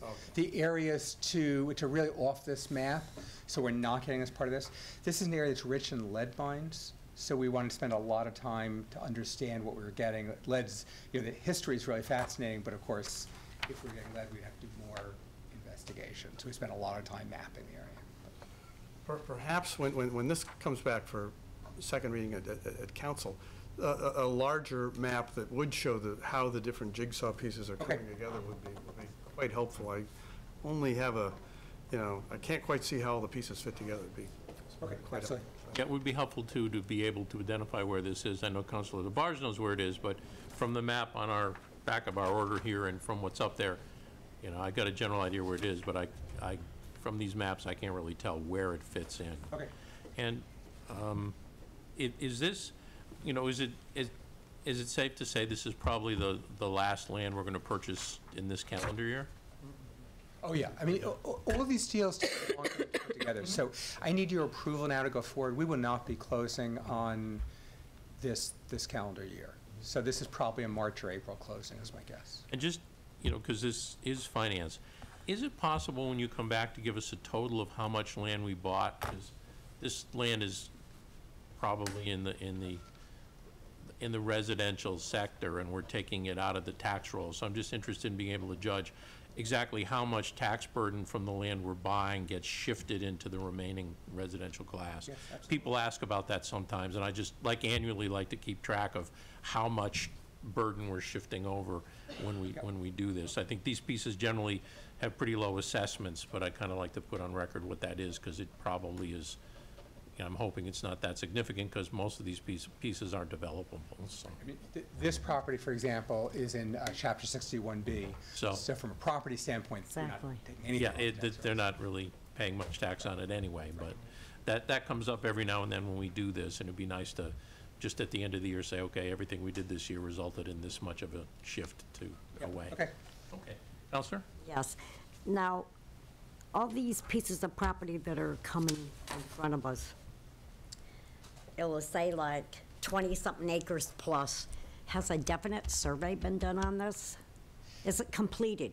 So, uh, no. Um, We always do a survey now before we buy the property. We tend to be risk adverse, so we don't usually do the survey until we get a vote from city council if we want to make sure it's okay. Um, The, peri- like this one, for example, the perimeter of everything that the, that the seller owns has been surveyed. So we just have to survey outside. between what we buy and what they're keeping, right? Okay. Um, Other questions in finance? Okay, hearing none. Everyone in favor of a positive recommendation from finance, please say aye. Aye. Any opposed?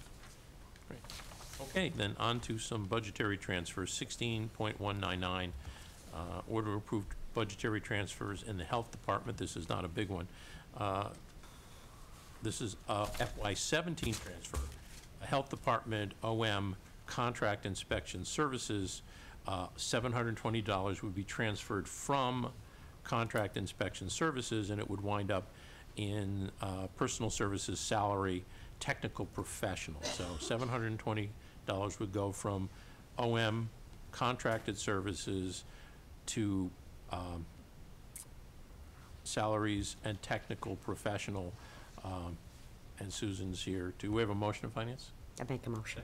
Second? Okay, and Susan here to explain. Um, Health Director Meredith O'Leary just uh, wants to, um, pay a temporary person to come in and do scanning. She's ti- uh, scanning Title I documents and other documents, just for record keeping.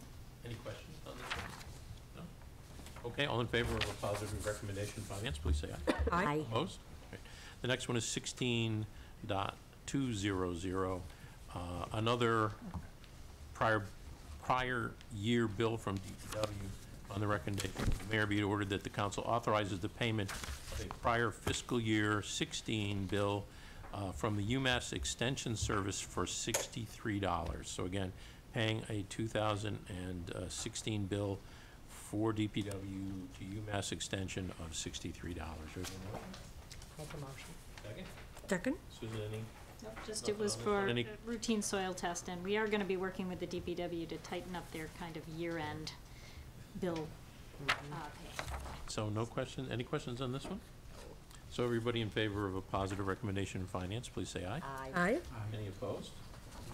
Next one is 16201, uh, and this is to appropriate s- $7,500 to pay for services related to roofing replacement uh, and schematic design for the Bridge Street Elementary School. Order that the city of Northampton appropriate $7,500 for the purposes of paying um, for owner's project manager services related to the roofing replacement, schematic design feasibility study for the Bridge Street Elementary School located at 2 Parsons Street in Northampton, a school servicing public school students in grades kindergarten through fifth grade, including the, uh, including the payment of all costs incidental and related hereto, and for which the city of Northampton may be eligible for a grant from the Massachusetts School Building Authority.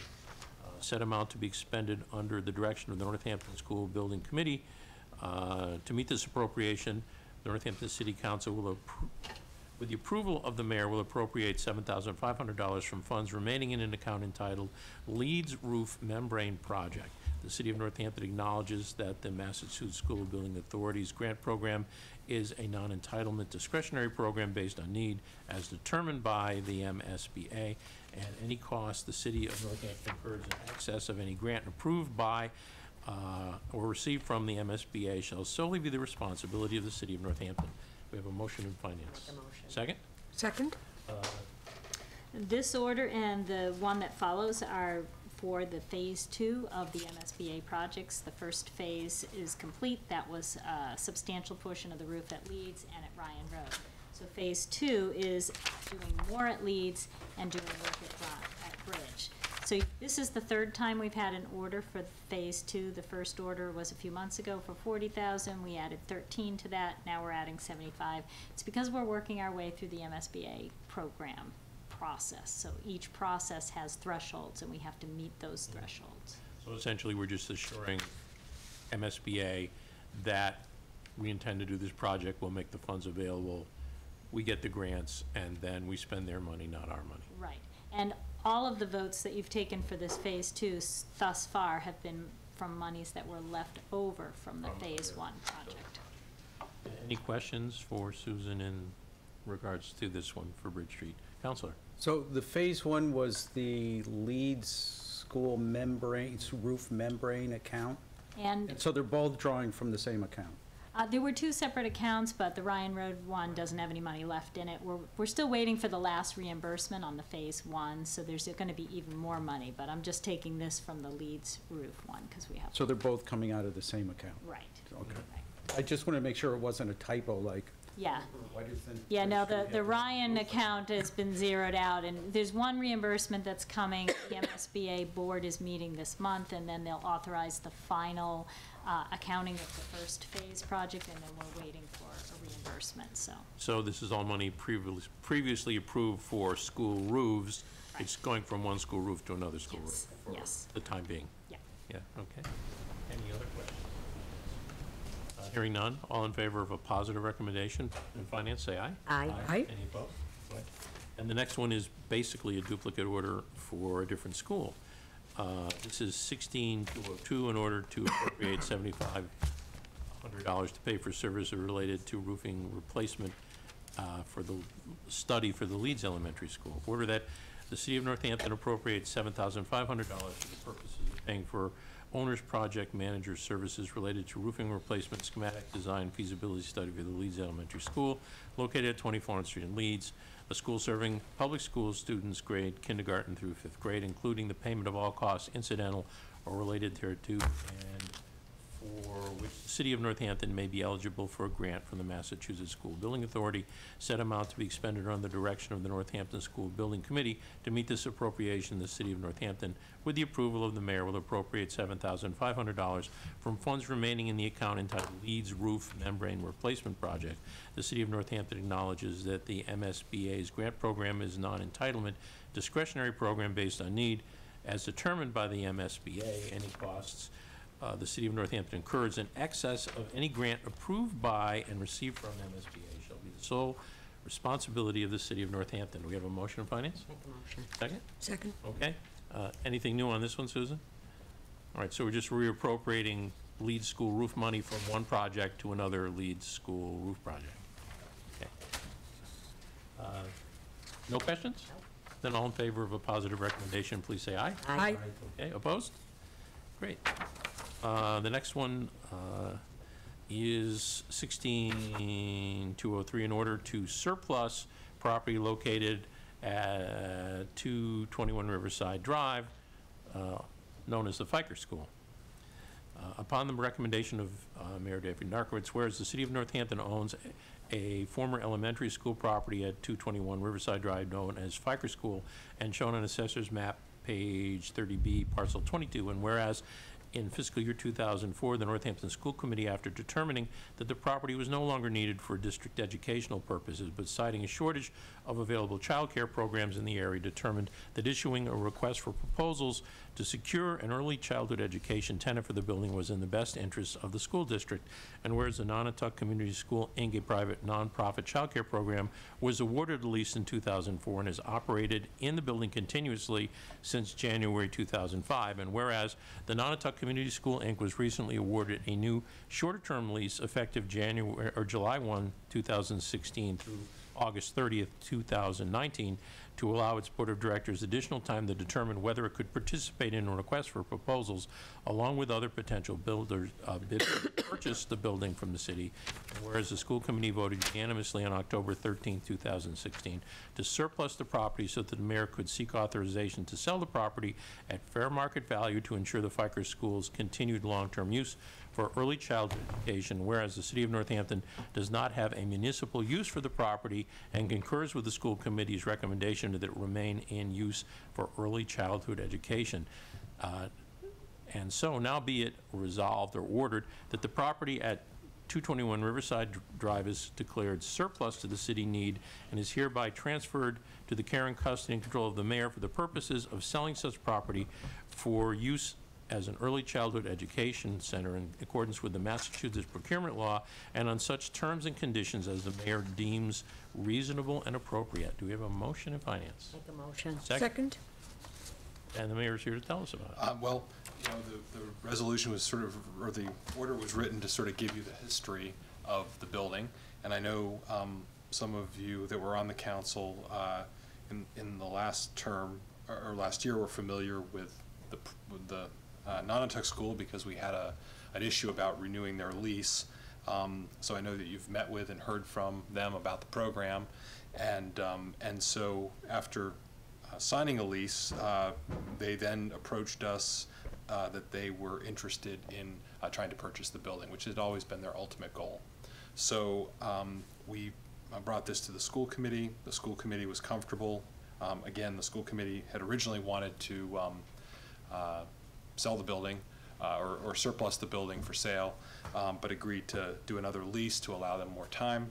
So um, this order would allow uh, me to now issue an RFP um, and put the building for sale uh, for fair market value um, with, uh, with the restriction that it be kept in uh, early childhood education use uh, for a minimum of 25 years. It would also carry the existing lease um, on the property because we'd have to honor the lease.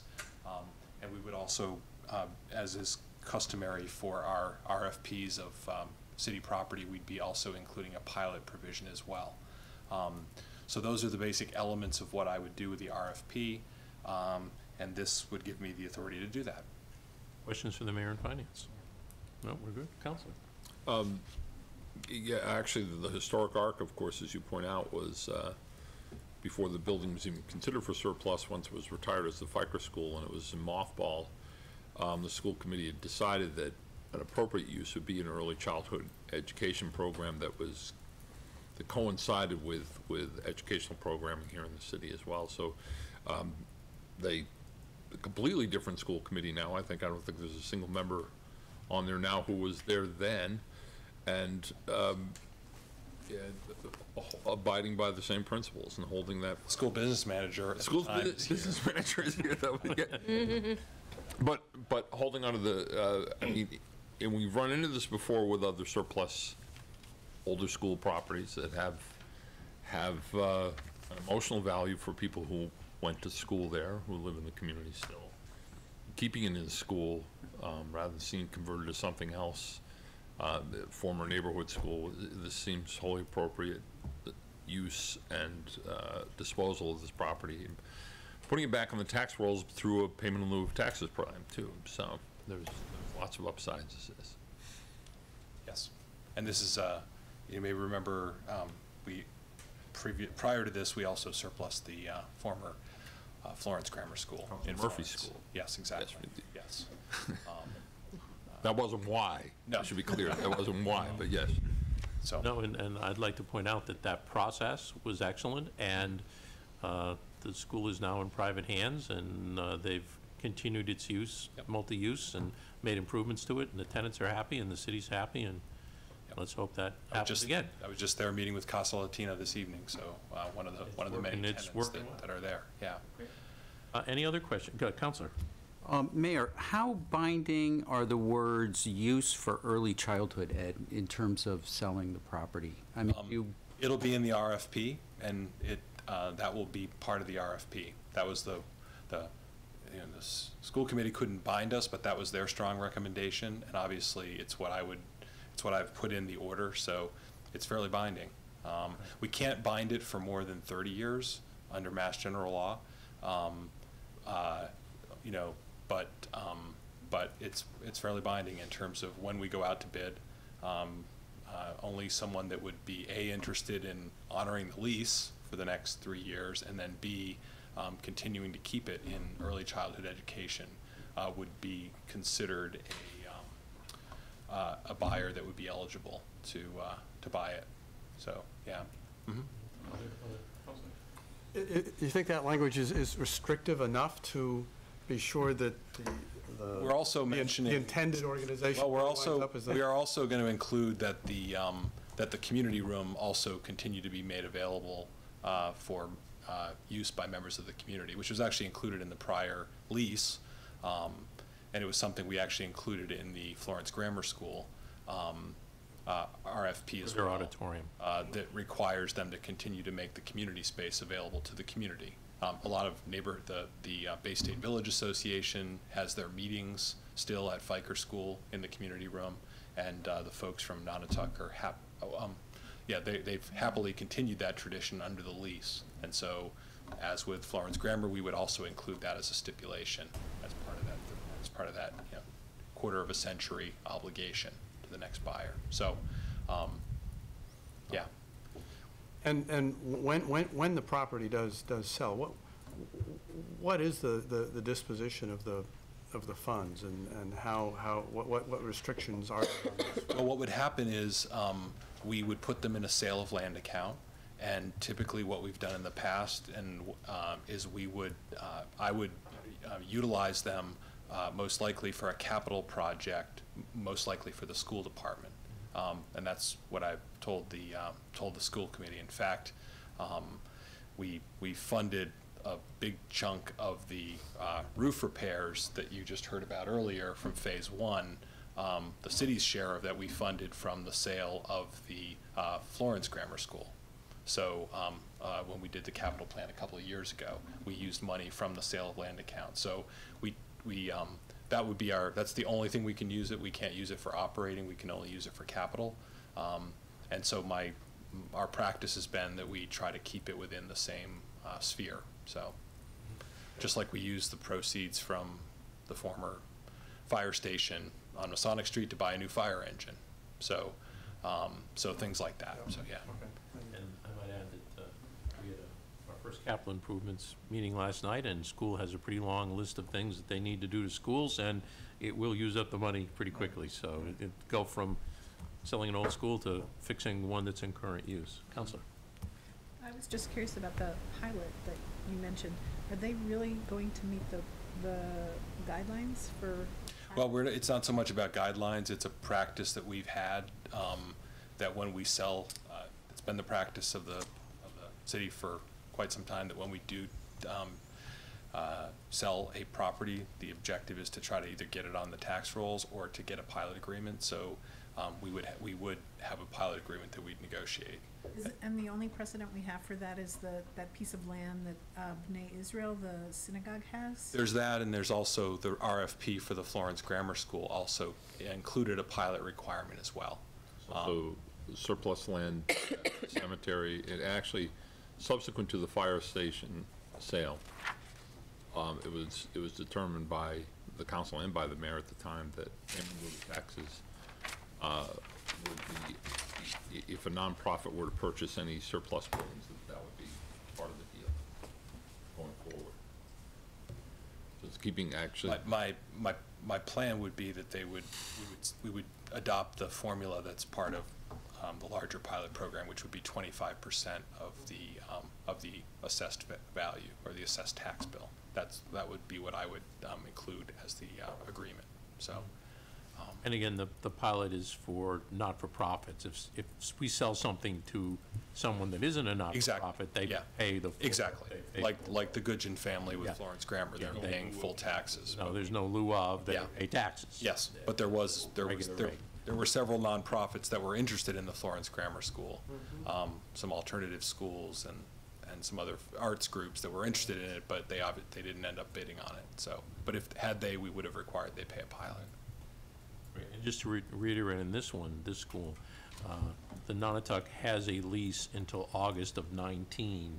So anyone other than Nonotuck that bids on it has got to take the building with Nonotuck there and remaining until August of of 19. So it gives them a real leg up on, And that lease was designed, that time frame was designed for them as sort of a, if we had to move out, it would allow them enough time between now and 2019 to do that. So they, you know, they, but they have every incentive to They do, and and- proceed quickly. their board has made the determination they want to Rather pursue this.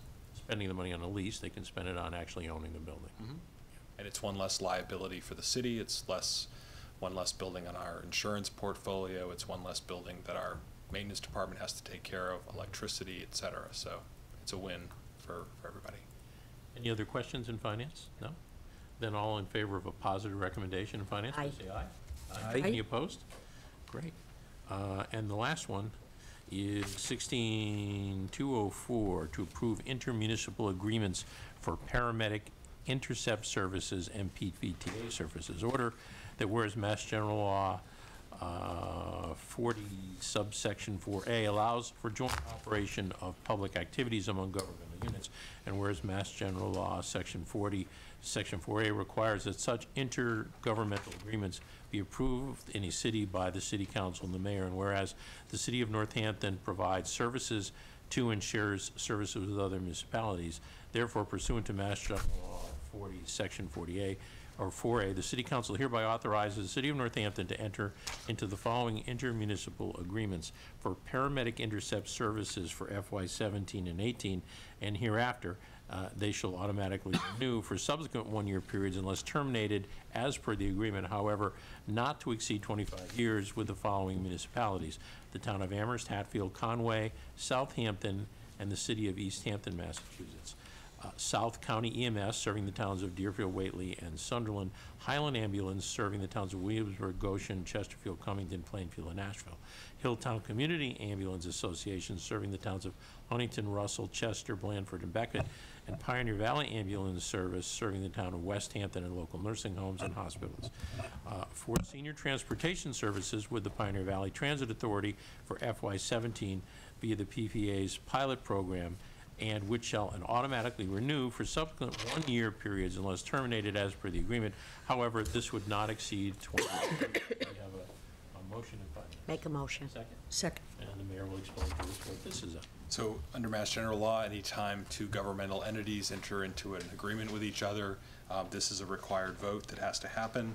Um, The first one is really just updating some existing uh, paramedic intercept agreements that we have with these smaller towns, uh, which basically involves um, in situations where we have to send a paramedic ambulance to um, intercept a patient that's coming into the community that needs paramedic level service uh, for transport to the hospital.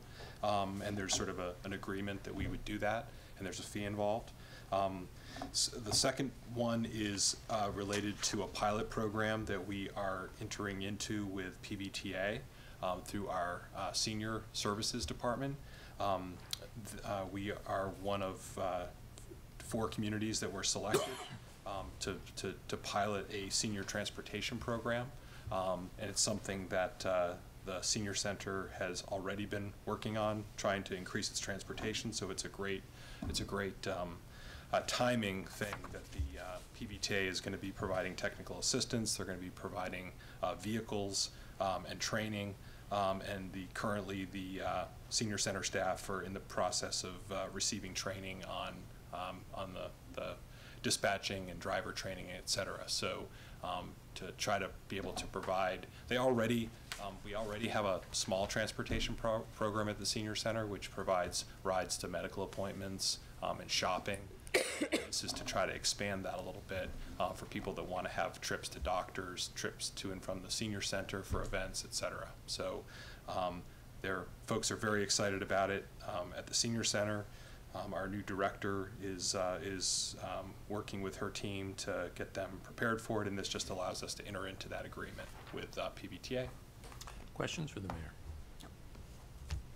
Councilor Klein? Um, I I have to show my ignorance here, or I just have a kind of lack of understanding about um, these agreements, because it's my understanding that if we were to send a fire truck, we, you don't charge the city, the destination city, but our, um, our paramedic service is integrally, integrally related to the um, fire department. Yeah. So how does it, how is it separated in order to um, create these relationships that actually are for payment? Yeah, so you're, you're referring to what's called mutual aid, where if there's a fire in another community, we send our equipment there, vice versa.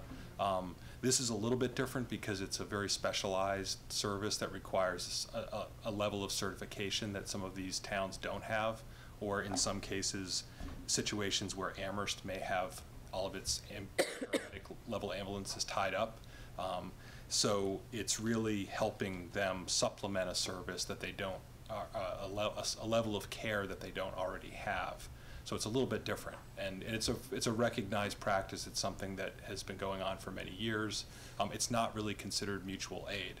Um, we're actually sort of contracting with them for a service, uh, much like we provide veteran services and other kinds of. Technically, if our paramedic services are part of the fire department, Yeah. how do we create that separation so that it's not mutual aid, and in fact, it's a fee, for fee, for Because it's, because we're not actually performing mutual aid. Um, You know, their, in many cases, their fire department is responding to, um, is responding to a, to a paramedic level type incident, um, and they need to then, uh, patient needs paramedic level care going to the hospital. So sometimes we might be meeting somebody literally on Route 9, um, uh, or, or Route 5 and 10, uh, incoming from another community that needs paramedic level care.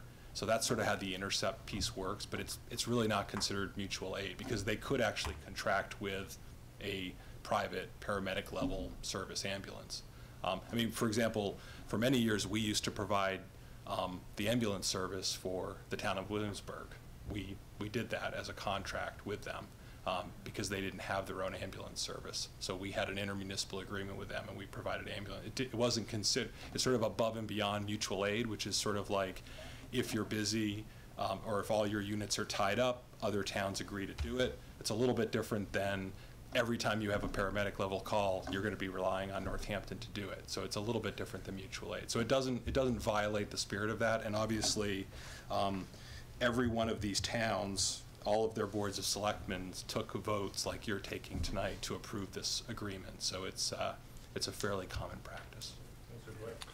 It, it, it's important to point out they're structurally different because uh, our ambulance service actually has a charge associated with every uh, ambulance transaction. It- It's ins- insurance covers it, but the, we don't do that for fires, and we don't do that for police calls and the like. So it's, it's, it's where that uh, combined socialist system clashes with uh, uh, a privatized system, but it, it, so services are more directed and are accounted for with payment. As, and the, uh, a fire truck showed up to put out a fire in your house, you don't get charged. So, but if an ambulance comes. That clarifies, thank Yeah. you. Yeah, there's a potential for insurance reimbursement on these where not, there isn't with mutual aid. That's just a friendly neighboring service. Any other questions for the mayor? Then in finance, all in favor of a positive recommendation, please say aye. Aye. Opposed? And uh, that's all that's on our agenda. So uh, is there any new business? No. Hearing none, a motion to adjourn finance. To adjourn. Second. All in favor? Aye. Aye, thank you. Okay, so we go out, come out of recess and go back into the general meeting. And then let's visit those financial orders again, shall we? With- with- I Again? think we can move it a little quicker. It's, uh, first up is item 16.196. This is, uh, and by the way, do we need Susan Wright to stick around for these? or- No. She's leaving anyway. Backing up. She's not, she doesn't even care. Okay. Um, yeah, there is one here for two reading, uh, request for two readings. Uh, What's that one? It's, oh, for the DPW bill, I would assume the reason you want to have two readings on the DPW bill is to really get this done and out and gone. Sixty-three. Sixty-three dollars, okay, so, okay, we'll, we'll burn that bridge when we get to it. Sure that's how that goes. Um, item sixteen point one nine six is in order to purchase twenty, uh, point plus or minus acres on Water Street in Leeds first reading. I'll accept a motion. To approve. Second. Any further discussion on this item? Uh, roll call, please. Councilor Dwight? Yes. Councilor Klein? Yes. Councilor Labarge? Yes. Councilor Murphy? Yes. Councilor Nash? Yes. Councilor O'Donnell? Yes. Councilor Sciarra? Yes. Councilor Bidwell? Yes. Councilor Carney? Yes. Okay, that passes in first reading. Um, Excuse me, next item is 16.197, in order to purchase 55 plus or minus acres on the easterly side of Coles Meadow Road with uh, easement. Move to approve. Motion's made and seconded, any discussion? Roll call, please, Mayor. Councilor Klein? Yes. Councilor Labarge? Yes. Councilor Murphy? Yes. Councilor Nash?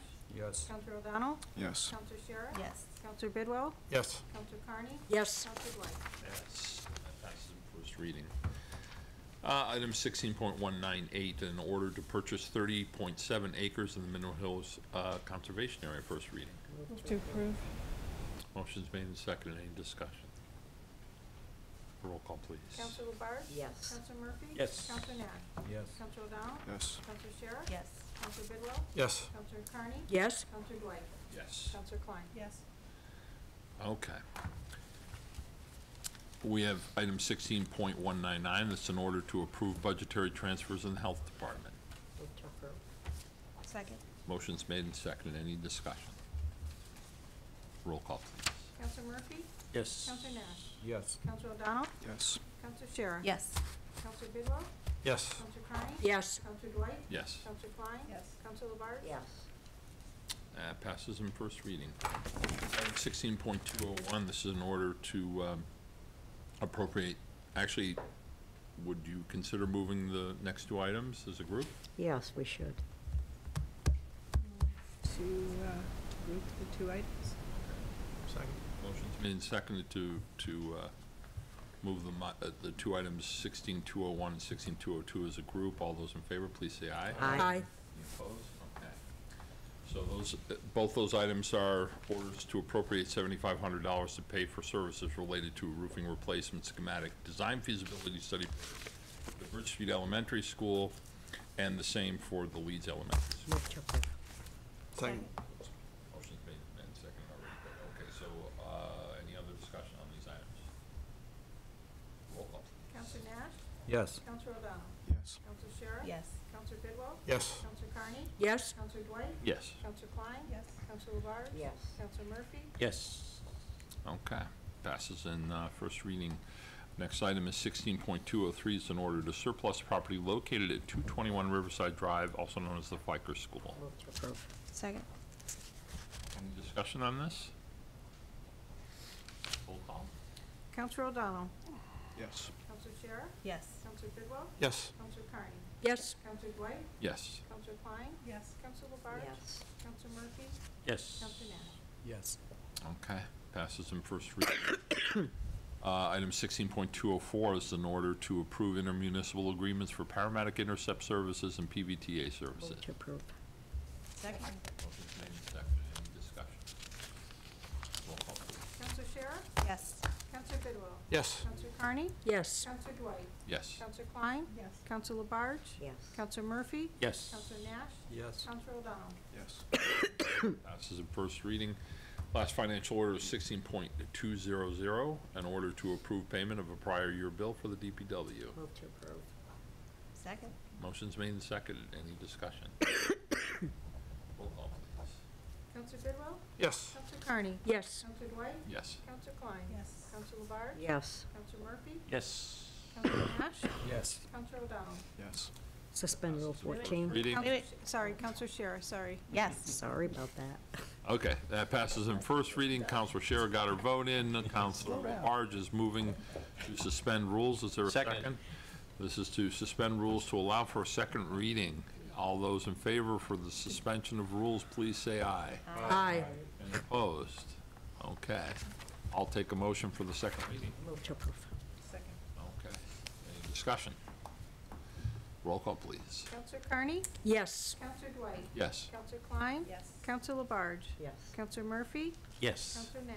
Yes. Councilor O'Donnell? Yes. Councilor Sciarra? Yes. Councilor Bidwell? Yes. Okay, passes in two readings. Next up, uh, this is uh, item 16.195. This is an order to make various amendments to the city council rules. Uh, It requires one reading only. I'll accept a motion to put it on the floor. Make a motion. One Has this ever gone to committee? It's not gone to committee. Would it make sense to? I, I- I would ask that of the maker of the, I mean, nah. yeah. Sure, what's that? The minute show. Unless you want, I mean, I don't know. minute show, It's- nah. They're pretty, they're pretty like superficial. Okay. But if upon explanation you wish to refer it, I'd certainly s- back you up on whatever. Okay, so that. I have no objection to You- But you can, you, so you can reserve the right to refer. How's that? Then I'll second Councilor Labarge. Okay, so the motion's on the floor. Uh, And Councilor O'Donnell, I'm going to defer to you to take us through this as you, Okay, thank you. Yeah, um, we're operating under new rules we adopted for this year. Um, and just as we've gone, and it's been about a year, and as we've gone and used them, just, I and I think others have cataloged various just things to correct. So that's what these do, um, among other things. And you can see they're numbered. The First Amendment changes um, a problem in the uh, table of contents. So does the Second Amendment. Um, The Third Amendment is somewhat, is a substantive change. We have a rule that ends all the meetings at 11. I mean, we seldom invoke that rule, and when we do, uh, or we- we seldom uh, uh, suspend rules to go past 11. When we do, it never fails to pass. So I don't really understand the reason why to have, we should have it in the rules. And also, as a matter of principle, I mean, if we have work to do past 11, let's just do the work. And any member of the council can motion to adjourn at any time, so. Uh, The fourth rule uh, clarifies a problem we had when we initially appointed committees. This year, it wasn't clear who was the chair at the very beginning, and this just says whoever is first in, in the order of those announced will be the chair until the committee elects a chair. So the council president says councilors X, Y, and Z will be on the committee. Councilor X is the chair until such time as the new chair is elected. Uh, The next one just uh, clarifies the, the correct names of um, uh, executive uh, departments that are related to, to those committees. Um, And also, um, this is relevant to uh, city services, the rules had in place this kind of procedure for inviting um, departments and department heads to come to the City Services Committee. And I always felt that, um, I mean, and I wrote it, and I thought, it- and I think it's just bad. I think it was always somewhat confusing as we tried to implement it. And at the end of the day, it should be just the chair of City Services that invites whatever city department uh, ought to be invited. And let's just keep it simple. So I kind of strike those, and I think it would just keep our standard. That is essentially our practice anyway in city services. So that- that would be a clarifying amendment. Um, The next one is about select committees. We've never created one, but it says they can have other officers besides chairs. It also clarifies what happens before a chair is elected. Um, The next one is, um, has to do with matters before um, the Committee on, on Finance and the Committee on Legislative Matters. We had this language in there, we always have, that things have to be, no matter will be considered unless it's been referred to these committees. But for example, Finance, all the orders we just considered were not actually referred to the Committee on Finance. They were just put on the agenda. So I wouldn't want to have that language uh, become problematic. It should just be the committee should consider the matter and then pass to the council. Um, That's what that does. Um, Number nine is, um, it removes the state legislative agenda idea, which again was something I, was an experiment, and um, we haven't done it this year. What we have done is we've just had a second reading on an excellent resolution about a state, a piece of state legislation, so I think we've proven that on an ad hoc basis as needed, we can do that kind of thing, and um, that's probably a better approach than requiring a full legislative agenda every year. And finally, as approved, excuse me, as demonstrated by this meeting, when the council president asked to reorder the, uh, uh, the order of business at the beginning to um, announce appointments for the new councilor for Ward Three, um, there's really no reason why we have to firmly adhere to the order of business, you know, religiously, unless we vote on it. I think there should be some latitude and discretion to move items up and down for the sake of efficiency, so that's what that amendment would do. Um, And those are just some tweaks after your. Oh, I would, uh, just back at the, uh, ending at 11, um, I will remind members probably, well, maybe they remember that at one, uh, council meeting last term, I don't know, two terms ago, Council, Councilor Freeman Daniels and Adams, uh, and I think they had enough votes to not, there were enough votes to not extend the meeting, and it put us in kind of a really difficult position. We were, we we didn't know whether we were even able to adjourn the meeting, because that would be conducting business that was prohibited after 11. So we didn't know whether to stay or go, but. So we- we've been here ever since. Right. Uh, to, to that eleven o'clock hour, I agree. I know that, a- actually, I know why the rule was originally put into effect. I mean, there was a time when council meetings could go as late as one, in some cases, two o'clock in the morning. Exactly. um, under, the- under charter reform, that, um, there's less of that, less of the items that would take so long that we would be deliberating to that hour. And I agree with you, I've always been frustrated by the fact that, um, we're, this is our job. We don't, we don't clock out. It's, I mean, we're not on the clock. And so, uh, for better or for worse, we stick it out. I mean, there is a problem, of course, is if you get into late hours and you're deliberating, then there's the impulse to run things through, which might not necessarily be, result in good law. But, and, you know, taking that pause at 11 o'clock and seeing if we're all bright-eyed and bushy-tailed, we're capable of pulling off legislating is, but I, I mean, I think we should accept the fact that we're grown-ups and this is what we're supposed to do. So. Uh, Councilor Bidwell. Uh, Two points. To- To to- to your point, I- I I certainly agree. More more generally, Councilor O'Donnell, I appreciate your attention to detail and keeping track of all this and and clarifying some things. But I I know, and I- I've heard members of the of of the planning board say, that uh, there are some decisions that get made at 11:30 and 12 and whatever hours that were decided more abruptly, uh, without as much consideration had they been on the agenda at 8 o'clock. And uh, I, I, I- it might make sense as an informal practice at 11 o'clock to just do a sort of informal. Check-in? Check-in. um, It's very Northampton. Is, are, are the remaining agenda items so important that they couldn't be deferred? Or do we really need to stick it, and in which case, are we, is everybody ready to buckle down and do it? Well, as the president, I'm, I'm prepared to check in, as it were, and pass the talking feather and so on and so forth, and we can, but yeah, and I think that, that's not an unreasonable thing. Uh, My, my, my second point was, and uh, Councilor O'Donnell and I actually talked about this matter of, a- of a legislative agenda. Uh, I'll, I'll let- now I'm, now I'm no longer the rookie, so I'll, I'll- I'll let our, our new newcomer figure this out. That for- was, that was quick, huh? Figure this out for himself, but one, one, one of the things on my learning curve was realizing, gosh, there's an awful lot of stuff pending in the State House that, that is of concern to us. And, and, and I've often wondered, uh, it, it, it, it'd be helpful to have some prioritizing of that. If I should find myself, uh, in a position where I can bend Peter Kocot's ear for ten minutes, um, is it the pending economic development bill? Is it, uh, you know, is it a bond bill for the boathouse? Is it, uh, the energy bill that I should, uh, use that 10 minutes of time on.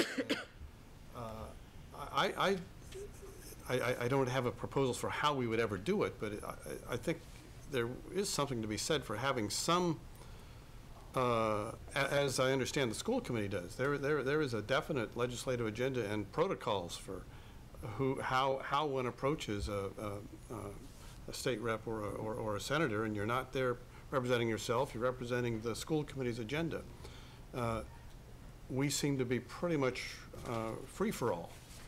And I just, uh, I just, I just raised that as a question, and I'm- I'm sure you've given this some thought, so I'd be curious what you think about that. So that's a question to you, yeah, Yeah. so, No, I think that's very, that's, that's a, yeah, that's a thoughtful kind of thought, experiment you're doing. Um, I would say there's nothing preventing us from passing such an agenda anyway. In fact, we could just, instead of deleting it, we could just change shall to may. You know, I'm just, you know, here it is, here we are at the end of the year, we have two meetings left, we, we don't have an agenda. Maybe that's on me. Um, I don't know, I just put this in there, actually, for many of the reasons that Councilor Bidwell was talking about, that it should be our, it should be a, a habit of ours. It was less about enforcing a rule, it was more about creating a culture. Yeah, we, we should be more up on the things that affect the city of Northampton, um, that originated in Boston, which is almost everything. Um, so we, uh, but you know, I just feel as a practical matter, maybe it should be left um, that we have the option. It's always something the council president could say, you know, look, we're going to do it this year, and so here's a resolution. I hereby establish a select committee, and you're on it, and you're on it, because we are going to do it. You could do that. Um, in theory, any of us could do that. So it's possible we could still have the option, just not be mandated every year. Could just be the vice president. What's that? It Could just be the council vice president that I know, prepares it. yeah. Who is that, by the way? Yeah. uh, Councilor Murphy and then Council Labarge, did you have a, no, uh, Councilor Clement? Well, I mean, we've, we have offered our uh, beloved president and fearless leader the option to reorder things, so if there's anything really scintillating, you could always move it up to an earlier hour so that we're still lucid and our friends at home are still awake on the couch. Right. And, and also, when you build the agenda, try not to build one that goes to the next day. You know, if there are things that look like they're gonna take a while, um, try to limit the number of those at any one meeting so that we can remain lucid and, and deal with them. Councilor Um, I have a couple of nitpicky things. Um, I can't, can't go to the depth that Councilor O'Donnell does, but I've, I've got. Nor do you want to. So the first one is, um, the number four, which is about, um, election of officers.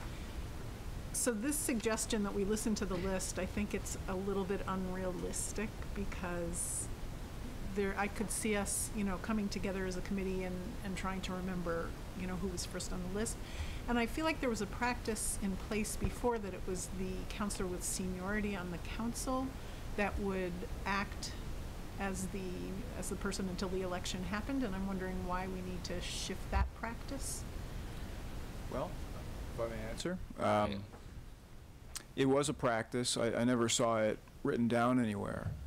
And so at the beginning of this year, I remember trying to sort out the problem with the new committees.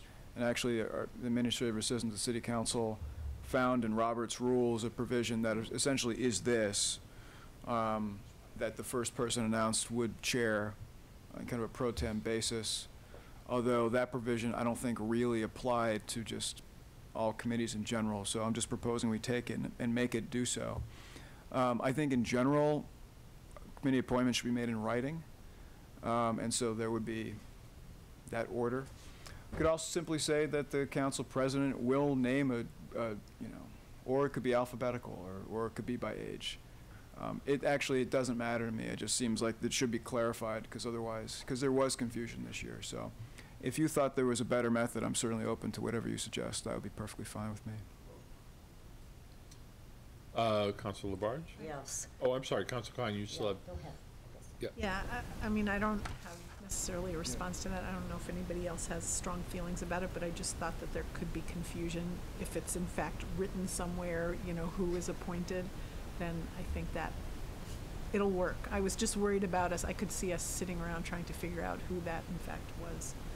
Um, so that was the first thing. The second thing is, and I, this is kind of neither here nor there, but um, I, I kind of brought this up when we did the revision in the first place, but the different committee, the Committee on City Services and the Committee on Community Resources, I still have such a reaction to the fact that it feels like the division of labor, as it were, is pretty arbitrary. And some of the things that are in committee serv, uh, city services feel much more like resources to me and vice versa. And, um, I don't know if we, we want to take the time to kind of hear the, the thinking behind what is a service and what is a resource, but, um, there are things here that just don't quite sit right with me. Um, but again, I don't know if it really makes much of a difference. I think there's some arbitrariness to it.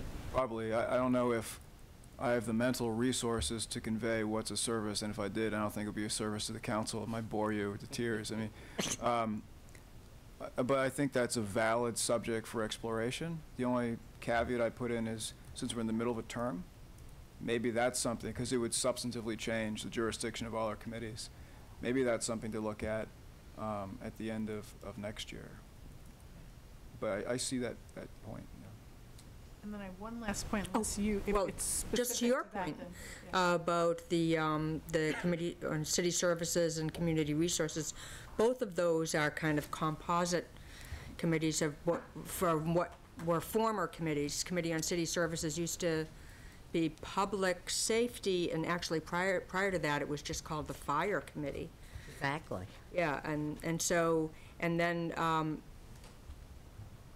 it did not, I think that there was, there was a social services committee. So I, I think that's why it seems as though they're arbitrary, but they were just more finding a way to create one committee that did the w- work of formerly three committees at this point, I think. Uh, Counsel Klein, you still have, uh, One last um, kind of technical point, and number 10, um, unless otherwise decided by the council president, does it have to have a word says, or whoever is acting in that role or something along those lines, or is it just kind of That's a good idea. assumed The presiding officer, The presiding officer we adopt that. as an amendment? so the last item I would say, uh, amended to say the presiding officer. Thank That's the proposed amendment to the amendment. Um, Is there a second on that? I second. Any discussion on that amendment? All those in favor, please say aye. Aye. Okay, opposed? Uh, Counsel Labarge, you have the floor. No? You, you wanted it, you don't want Okay. Uh, Bidwell.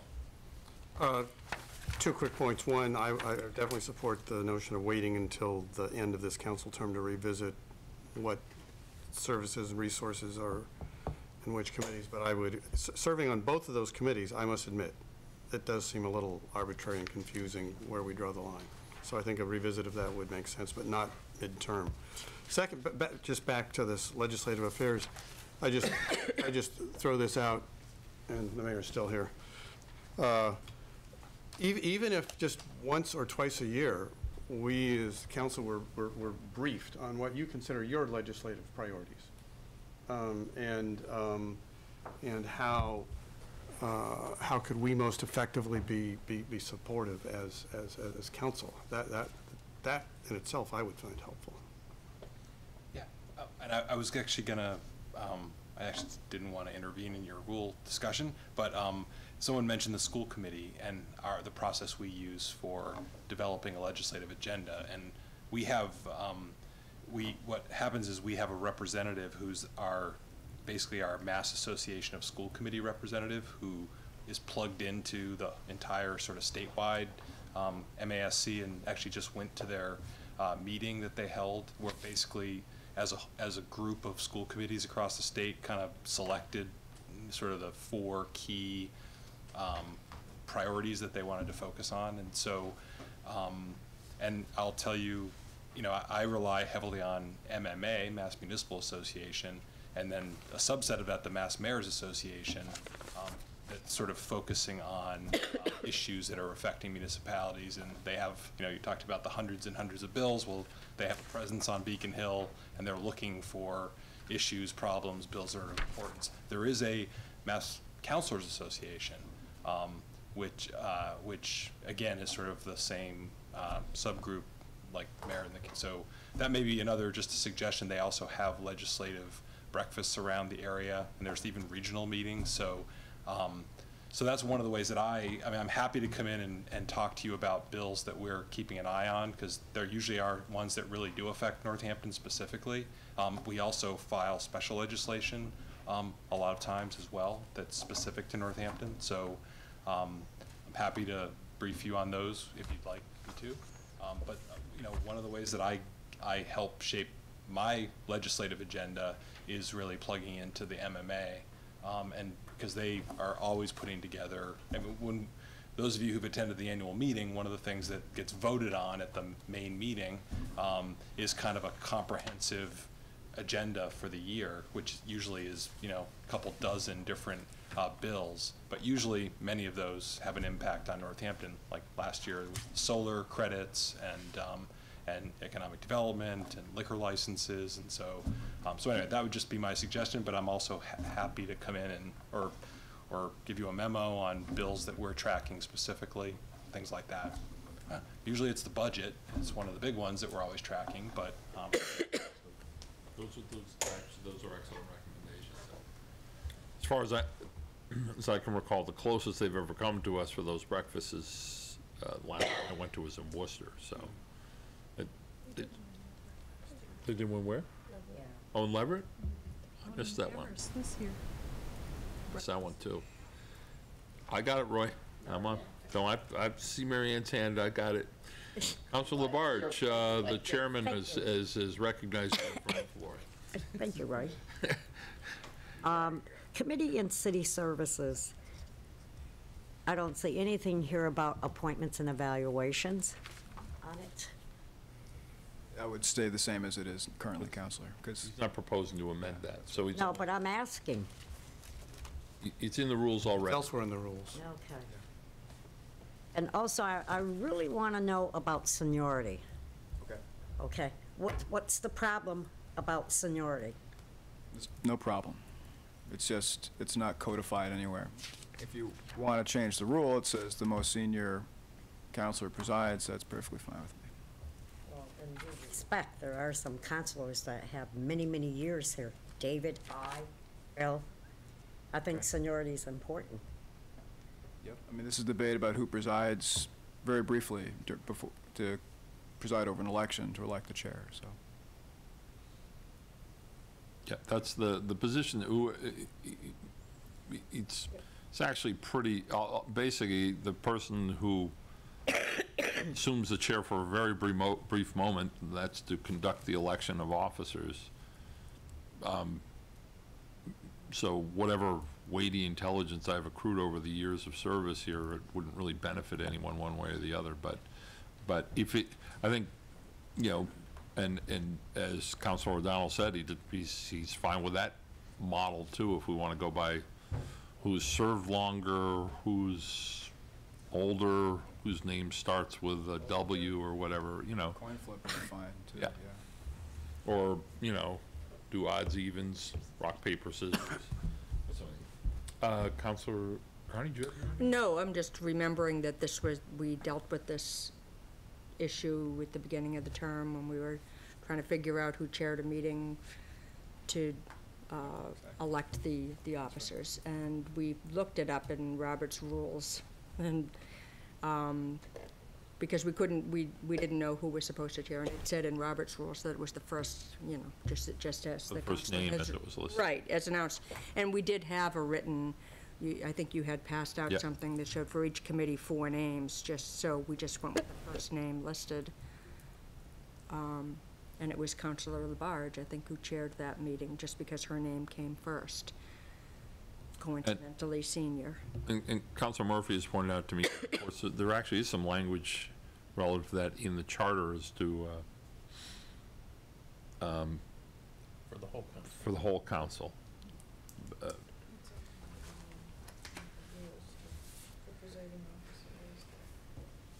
If the previous council president is absent or no longer a member of the council, the longest-serving member of the council will preside. It's it's already there For the entire. for the council, yeah. Um, I, I defer to the council, the body, whatever, whatever your preference is, hair color, weight, I win. Um, whatever, whatever you want, so. Councilor Bidwell. Since any of these mechanisms is, is is arbitrary and as we've pointed out, very short-lived, uh, and I don't care particularly how we do it, but in deference to a councilor who does have a strong opinion on it, it's fine with me. If we just go with, do it on, the do it on the basis of s- seniority. Uh, I I would, I would, I I would there is one problem. If you have two members of the same, serve the same length of time, then you have a contest over So who's more can senior. So, so I, I mean, I, I, we're, we're, there is a problem there. So it's just, for simplicity's sake, I, I, I think what Councilor O'Donnell's proposing might, in that respect. Um, And who knows, the council president may assign the committees based on seniority and list them that way. Depends. Or depends on, you know, whether I'm sober or not, if, or if I'm the council president. So, so that's arbitrary as hell, so. If you do it after 11, who knows? You do it after 11. After 11, Councilor Labarge. Yes. Who are the two councilors that have the same years? We're talking about making rules not just for this body, but for any subsequent. No, No, if there were two councilors Uh, uh, who would serve, to- for instance, Right. who've all served the exact same amount of time, then they would be in conflict. We'd be able to figure it out. Councilor Klein. Can I just clarify that I don't have strong opinions about it, so I, I'm fine. I was, I was actually making It's reference, just, I was making reference to Councilor Labarge, who I, oh, who I was thinking did. My, my concern is if we don't amend these rules, we're going to run up against the 11 o'clock rule, and then we're going to be trapped. So I'm terrified. Councilor Nash. Just don't, just don't make the rookie chair a meeting. Well, that's, Well, Do that- the opposite That, that that? actually happened under the existing rules. Yes. To you? to me. Yeah. Little did I know I was first listed. Anyway, Uh, I, I'm personally in favor of first listed, uh, that as, as, as the proposed amendment. If, if someone's willing to propose another amendment to change that, is there, I mean, we're debating an issue that's actually not, actually on the floor. I'm, I'm, I'm fine with that, and I would move the question with the uh, one amendment that I believe we've talked about. Right, that's already been approved. Yes. Yeah. Okay, uh, he's calling the question. Okay. Um, This is a voice vote. So, and it only requires the one vote. So all those in favor, please say aye. Aye. Any opposed? Any abstentions? Okay. Okay. All right. Um, Now, we're into ordinances. This is item 16.158. This is an ordinance relative to photovoltaic systems and related accessory structures in various zoning districts. This is the first reading. This comes with a positive recommendation from the Committee on Legislative Matters as amended. I'll accept a motion. Okay. Uh, Councilor Murphy, you, Uh, And this, this actually came back, this was at one time, I think, approved, and then it got omitted from the online posting somehow. And it was omitted long enough that we have to go through the formality of reapproving it to get it back. So this, this is, while it's, we're voting on it as a new item, we dealt with it before and it sort of slipped through the cracks somewhere along the line. And it's just returning, and it, it exists in some zones but got left out of others. So this, I think, Mr. Feiden, correct, this just puts things back the way they were supposed to be before it mysteriously vanished into cyberspace. um, for the public and for Councilor Nash, who wasn't necessarily part of that first uh, iteration, this is relative to photovoltaic systems and related accessory structures in various zones. This, uh, section 350 of the Code of Ordinances, attachment 7, table of uses and uh, dimensional regulations for urban residential B, URB, be amended by adding the following bullet in list of uses allowed by a special permit below, uh, shown below. A special uh, permit approval required for the following uses by the planning board unless otherwise noted. Solar voltaic or PV, uh, large-scale ground-mounted, not required the removal of more than 25,000 board feet of timber. And these are the setbacks. Front, 50 feet, side, 50 feet, rear, 50 feet. Maximum height would be 30 feet. Open space, use uh, 20%. A planned buffer to abutting residential property shall be at least 15 feet in width along the property boundary. It shall contain a screen of plantings and a vertical habit uh, in the center of the strip, not less than three feet and six feet in height at the time of occupancy of such lot. Individual shrubs shall be planted not more than five feet uh, on center, and individual trees thereafter shall be maintained by the owner or occupant so as to maintain a dense screen year-round. At least 50% of all plantings shall be evenly spaced, and whenever possibly, whenever possible, existing trees and ground cover should be preserved in the strip, reducing the need to plant additional trees. Trees may not be cut down in this strip without the site plan approval. Um, Mr. President, Yes, can I make a note that might save you some time? yeah, Um, What you just read, that's existing. No, that's being put in to URB, and the remaining sections will put the exact same language in. Oh, thank you, that does, might yeah, be- yeah. Right. Okay, so that's, that's, so, okay, the, rema- okay. Ten minutes right there. The, yes, same dimensional uses in RR, SR, okay. It's a 50, 50, 50, 30, 20, so, and, yeah. Um, okay. Uh, any discussion on this item?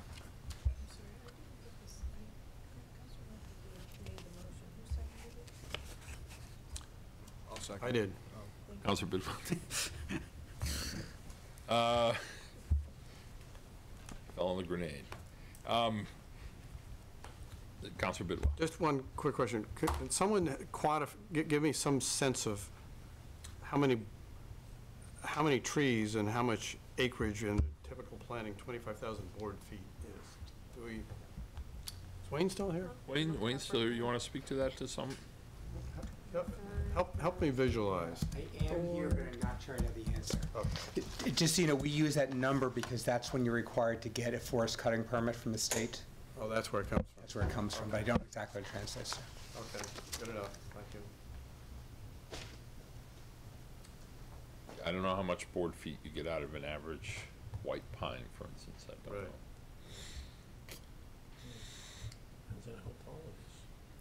Councilor Nash? A lot of I, I just want to say these setbacks look uh, plenty big for anybody who's putting in these projects. And also the fact that they're doing photovoltaic, putting in solar panels, that they're going to have to have plenty of open space anyway, just to um, get the, the proper sunlight. So I'm, I'm, I'm really comfortable with approving it. Setbacks and green screens, obviously the green screens aren't supposed to interfere with the ground-mounted PV arrays, because then that would be stupid. Um, So, but that's, these descriptions basically as far as the plantings we've had problems in the past when you have uh, prescriptive plantings that somebody just slaps a bunch of arborvitae cheek by jowl, they die within a week, and they feel they met the conditions of the permit, and that's the end of it. And the, and the abutters and neighbors tend to be a little upset. But, so there's more specificity in the language as far as maintenance and ongoing maintenance. Any other discussion? Okay. Uh, roll call, please. Councilor Dwight? Yes. Councilor Klein? Yes. Councilor Labarge? Yes. Councilor Murphy? Yes. Councilor Nash? Yes. Councilor O'Donnell? Yes. Councilor Sciarra? Yes. Councilor Bidwell? Yes. Councilor Carney? Yes. Uh, That passes in first reading. We'll be revisiting that at our next. Item 16.75 this is an ordinance to amend Schedule 3 limited time parking from Chapter 312 on the code book. Uh, This will be a first reading. Is there a motion? Comes with a positive recommendation from the Transportation Parking Commission, neutral recommendation from the Committee on Legislative Matters as amended by this committee. Um, Well, Councilor O'Donnell, this is apt to, that- you- would you like me to read these, or would you rather break it down? I Can break it down. Break it down. Is it 16.182? Is this? Uh, This is 175. 75. This is the ordinance for parking on King Street as amended, uh, the good dog spot, spot. Yeah. Uh, Do we have, um, do we have maps by any chance we could put? Um, Thank you. Yeah, This was, I, I think, um, at the request of the property owner of 139 King Street and the business owner of, for the dog care business that's there now. And, uh, it's, relates to those, those two spaces directly in front. That's the building that was Hamlin Furniture. Um, what this ordinance would do would be change the, the two that are, are uh, contiguous to 15-minute only, um, from 8 AM to 6 PM, and then it would change the other one to one-hour parking. Um, And this did get a positive recommendation from the Transportation and Parking Commission um, with, not unanimous, I, I opposed it. And I'll, I'll explain to you my reasons for opposing it as well, but just to give you the, the facts first. Um, the business owner, you know, it's basically you, you, they get people to drop their dog off and pick their dog off, uh, pick their dog up when it's, when it's done, or when, when, whatever. Uh, so, they have, the idea is if you had 15-minute spaces, that you could accommodate traffic. Um, And that's what it would do. So I'll, I'll tell you, my, my opposition to it is that, I mean, I live not far from there, off of North Street, and I come and I drive there all the time, and anecdotally, I've never seen cars parked there. And so my fir, my first question is, is this real, is there really a need here? I mean, if I owned a business, I would probably do the same thing. I would probably want to, you know, kind of get as much as possible for my business to accommodate future expansion or, or whatever, um, regardless of whether or not there's a need. But this, this question, I, I asked this question, and um, actually the owner said, I, I looked at the video and she said, it does not seem to be a consistent problem, but we have not been in the building long enough to see if it is or not. Um, in addition, you can see between those two 15-minute spaces, there are two curb cuts. And there's a, you can pull off, and you can park right in front of the dog store. Um, and I, you see cars parked there frequently. Actually, I frequently see cars parked there when there are no cars in the, in the 15-minute spaces. So it does have that pull-off that exists. And I'm not sure that um, there's a demonstrated need to take two 15-minute spaces out of the system. Um, I would also add that I think the, the use of it does change. I think that it changes on the weekend, and, and the owner testified to that as well. I think the feeling is that people come to Northampton, you know, it's more crowded on the weekends, and there's actually speculation that people might park even all the way up there to go to other places um, in the center of town or what have you. So um, my concern about doing this is, you know, a, a parking space is, is public property. And whenever we take it and we give it to essentially exclusive use of one owner, you have to be very careful. And I think In contrast to other 15-minute spaces we've created, you know, for example, where the old Bank of America building is, we created a 15-minute space there. That's a little different because it was a new space. We closed a curb cut and created a 15-minute space. But also the merits of having the space there were more universal. They served a wider region. Um, just this week, Council Sciarra had an ordinance in the Transportation Parking Commission to move a 50-minute space on Center Street because there were multiple users of it in that location, and also establish one on Market Street uh, because Market Street would serve many different businesses.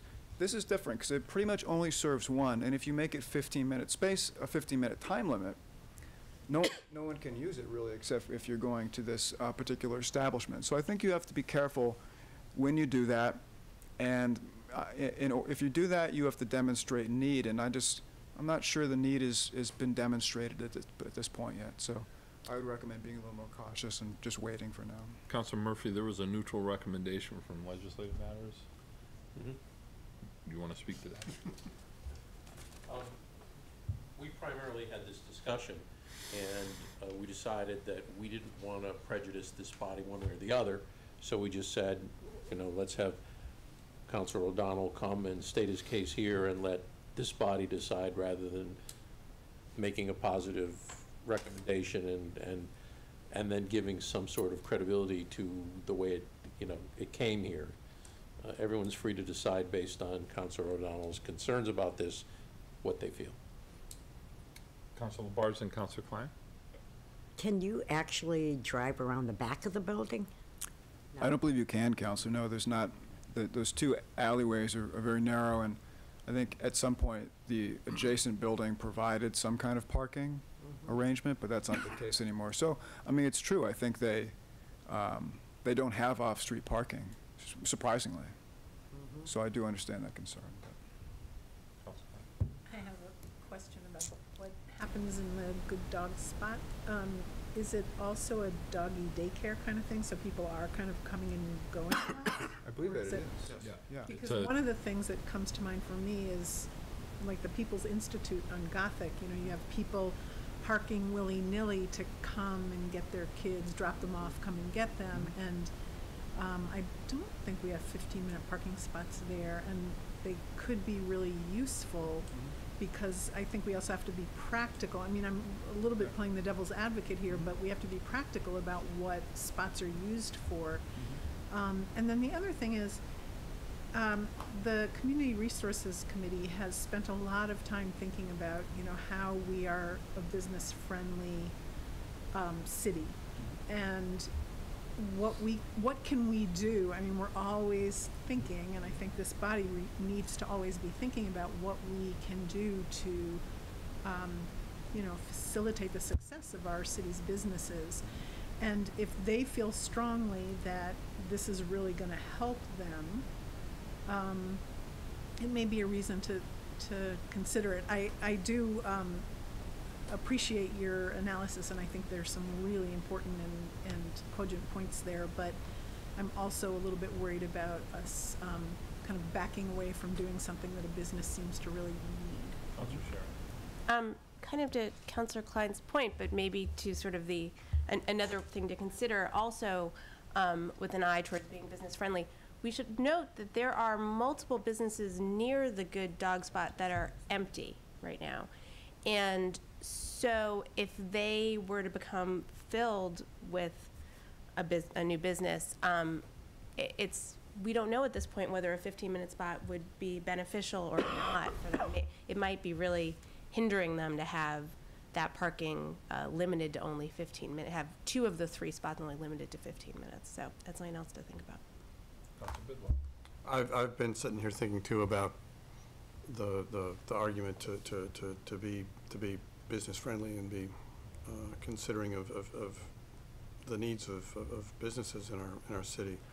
But I think there's a difference between uh, 15-minute parking spaces that serve multiple businesses and that one is clearly dedicated to serving one particular business. And I, I do think it's worth drawing a, drawing a distinction between those. So I, I, uh, much as I like seeing this use go in this stretch of King Street, these buildings have been unused for some period of time, and let's hope that others will rent up soon. Uh, I, uh, I, I, I, I- would be inclined to, to, to not support this, um, because I don't think, uh, we want to set the precedent of, of setting aside public parking spaces that in this case would practically be for the use of a, of a sole business as opposed to a, a group of businesses that would benefit. Council Labarge, then Council Nash. Yeah, I was just concerned, um, say like from Dunkin' Donuts and up, there's meters there. I know that. Yeah, on the other side, yeah. because our business is there. So my question is, here we have a rental on the corner, right, where the building's gonna be sold? I'm sorry? Are you, On the are you asking a corner? question? On the corner? Oh, oh, there, yeah. uh-huh. That, bu- is that building up for sale or is it rental? It's up for lease. The porn shop. Yes, thank you, Bill. Formerly known Which has the been- elec- former the electrical supply shop. Always be noticed. Yeah, Right. nice. My question, the furniture store now is dealing with dogs, and then we had the auto body shop. So, in other words, if we put 15-minute parking, only that business would be able to use that 15-minute parking when you have two others? No. No. No, it's, if I can answer, I mean, no, but I think as a practical matter, that's the only business that would. I mean, at that point in King Street, I think it's unlikely for people to park there and run across street to Cumberland Farms, for example, which has, you know, some parking and Dunkin' Donuts. It's mostly, those three spaces are just for that strip. And what I'm saying is if there, if we take two-thirds of those spaces and make them 15-minute only parking, the only possible beneficiary is one business. So it's a practical matter, they're just for one business. Uh, Councilor Nash, Councilor Murphy, then Councilor Klein. So um, there's, there's a few things. First of all, I'm looking at Google Maps here, and of the uh, properties there, this is the one where the structure covers the entire property. Do, do we know where the, the owners, people actually park there? I mean, the people who work there? Oh, do you know? Do you know? They, um, uh, they lease, they lease some spaces in the back from that automotive sup- parts supply store. There is, if you drive back to the alley, there's sort of a parking lot back there, and they have permission for some staff to park there. They also park their, um, their bark bus, as it's called. That's what it's called. To the left, sort of to the, le- um, if you're facing it, it's to the left of the building. They have a little bark bus that goes around and picks up the dogs every morning, um, for, uh, Gonna keep saying for daycare, yeah. So, What is the bus called? It's called the bark bus. And, and I, I'm the sponsor of this, um, order, so I, if I would just, I would have the opportunity to just add, you know, this was something that the businesses re- that requested. I mean, the auto body shop has its own parking lot. Um, it has its own parking lot, so people who are going to the auto body shop aren't gonna pull up and park. Um, it's also one-hour parking, that's what it's been forever. Um, so I guess theoretically, somebody might park there and walk all the way to Bruegger's and then walk back. It'd be a, be a, um, a short, quick bagel and then come back. So, um, and then the automotive shop is, is basically a parts store. It's a part supply store. Um, so people, generally, people are pulling up to get parts, um, you know, parts delivery companies, things like that. Um, so, anyway, so I, you know, this was something that I put forward at the request of the business owner, and I'll leave it in your hands. Um, you know, it's not unprecedented. We know when the Main Street cleaners moved uh, from one end of Main Street, we took a 15-minute spot and we literally moved it with them in front of their store because they were one of the primary reasons we put it in. So it's not unprecedented that we've put a spot right in front of a in-and-out type of a business. So, you know, could we um, split the difference and put one 15-minute spot in? Uh, I don't know. I, you know, that would be one possibility. Uh, It just feels like they're requesting a 15-minute spot. We've generally uh, tried to accommodate businesses that have kind of an in-and-out business, like a daycare you described, you know, People's Institute. This is sort of daycare. People are on their way to work. They've just got to stop the car, go in with the you know, run in with the dog, drop it off, or if they're doing a grooming visit or picking up from boarding, it's usually a quick stop. Um, so they just want, they're concerned that if there's no, um, if all the spots are taken for an extended period of time, there's nowhere to do a quick, you know, drop in and drop off. So similar to why we have them in front of, you know, bagel shops and uh, dry cleaners and other places downtown for just quick in and quick out trips. Councilor Nash, you still have the floor. You said, Bagel bus, Bark bus. Okay, um, so, um, yeah, so this, we're, we're talking about the one business in, in a dead zone that, you know, that we'd like to see some vitality there. And they're, they're asking for these two spaces.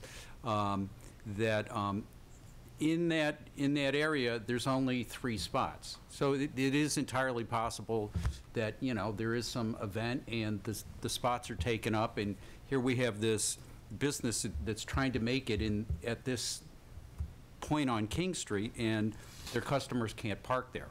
Um, and, um, and the fact that they have no on-site parking. And, and per, you know, the direction of where the city's going around um, uh, business and parking is that, you know, within central business, we've gotten rid of parking requirements.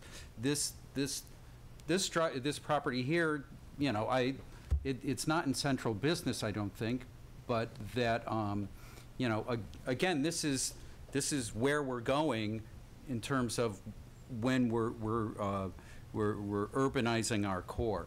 So I, I think part, we, we also want to respond with on-street parking for a business that is meeting that standard.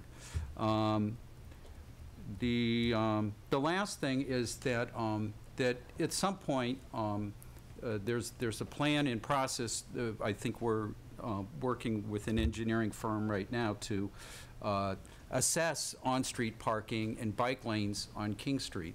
So I, I think that, um, I look at this as, this would be like a temporary solution till the bigger plan actually comes through, um, down the road. So I, I would support it. uh, Councilor Murphy and then Councilor Klein. In, in an effort to get some canine consensus, I was going to propose an amendment.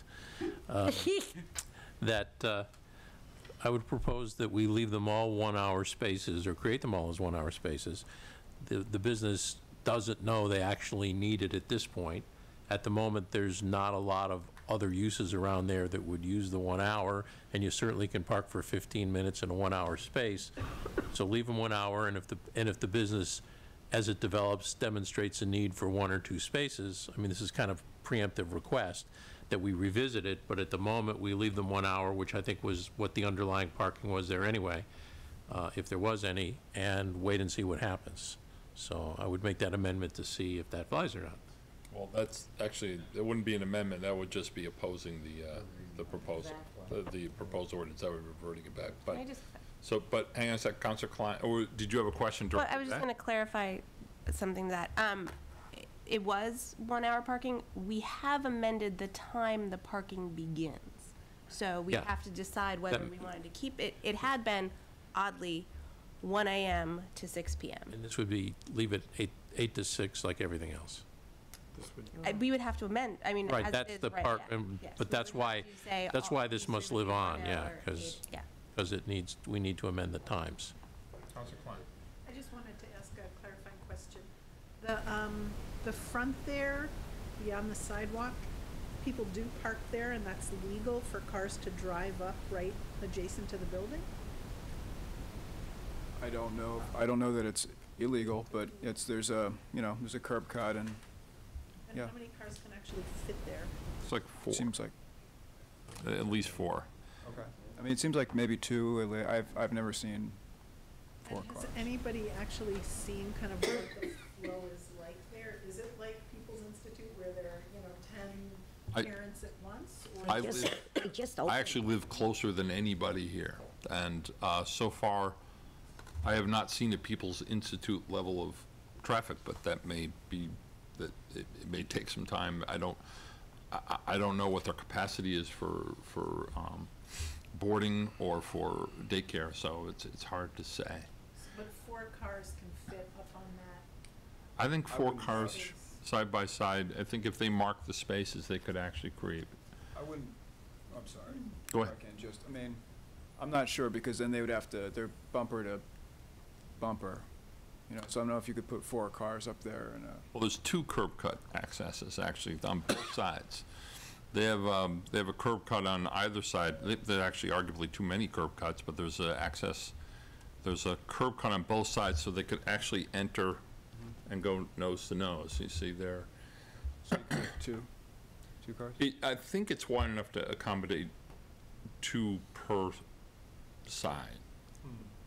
But that remains to be seen. I mean, that's I'm still sure, yeah. two at a minimum. So two at a minimum. Two at a minute. May I ask, could I actually ask the, the council from Ward, since this is Ward one? Mhm. Could I ask the Ward one councilors' thoughts on this? Um, Formulating those thoughts as Okay, I'm Sorry to hearing. put you on the spot. Uh, um, I mean, I think it would be okay to do a split the difference at this point too and try, you know, uh, creating one 15-minute spot and um, see how that works out. I, I have a question of the chair of uh, TPC. Do, is there any other place that we have a side-by-side 15-minute spots? Right here. Uh, No, I, I, yes, yeah, that's true, for city businesses. Um, And Bruegger's too, they have two or three. Okay. Again, those are downtown and serve many different businesses. You know, I worked at Pleasant Street Video, there was one proximate to us, but it served the bakery, us, Yeah. the places across the street. Um, I'm disinclined to favor this right now, because I think it's creating a solution to a problem that doesn't currently exist.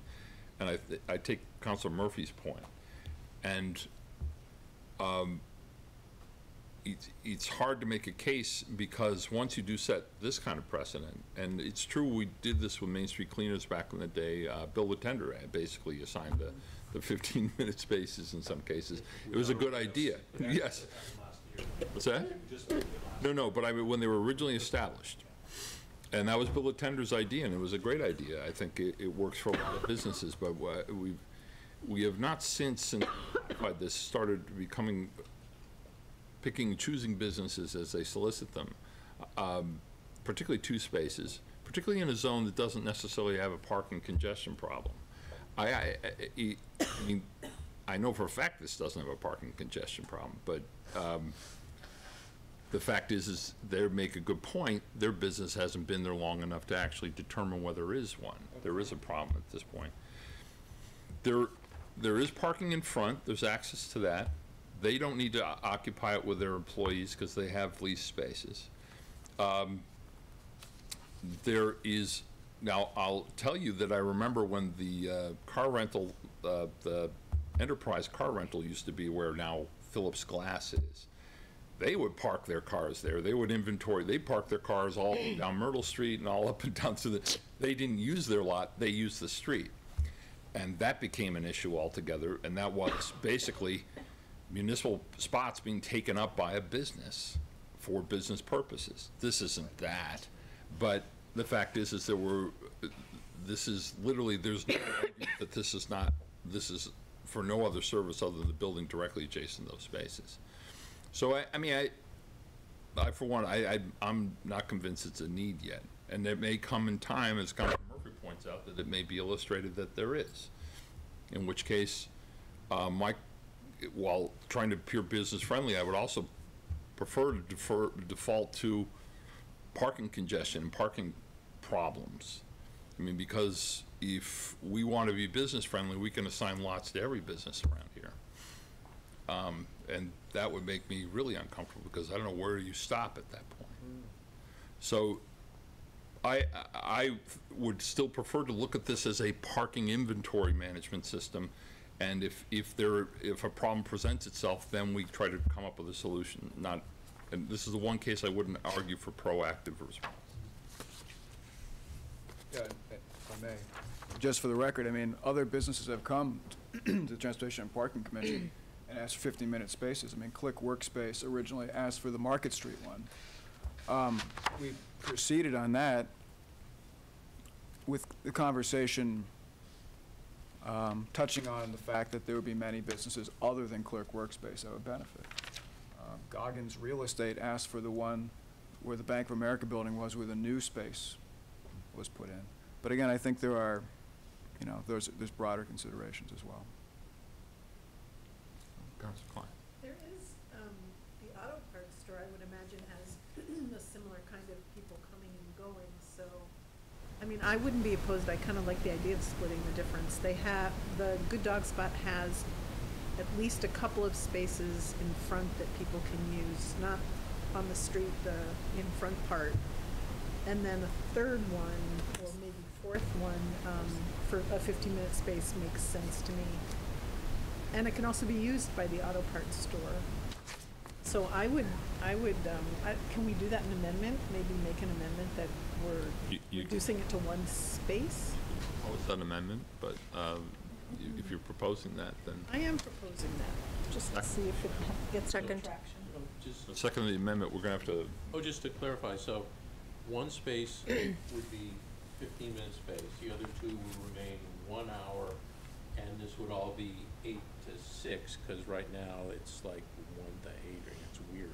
So eight to six for all of them, 15 minutes for one, the other two remain one hour. Yep. okay, so that's the amendment, is- and then we have a second on that?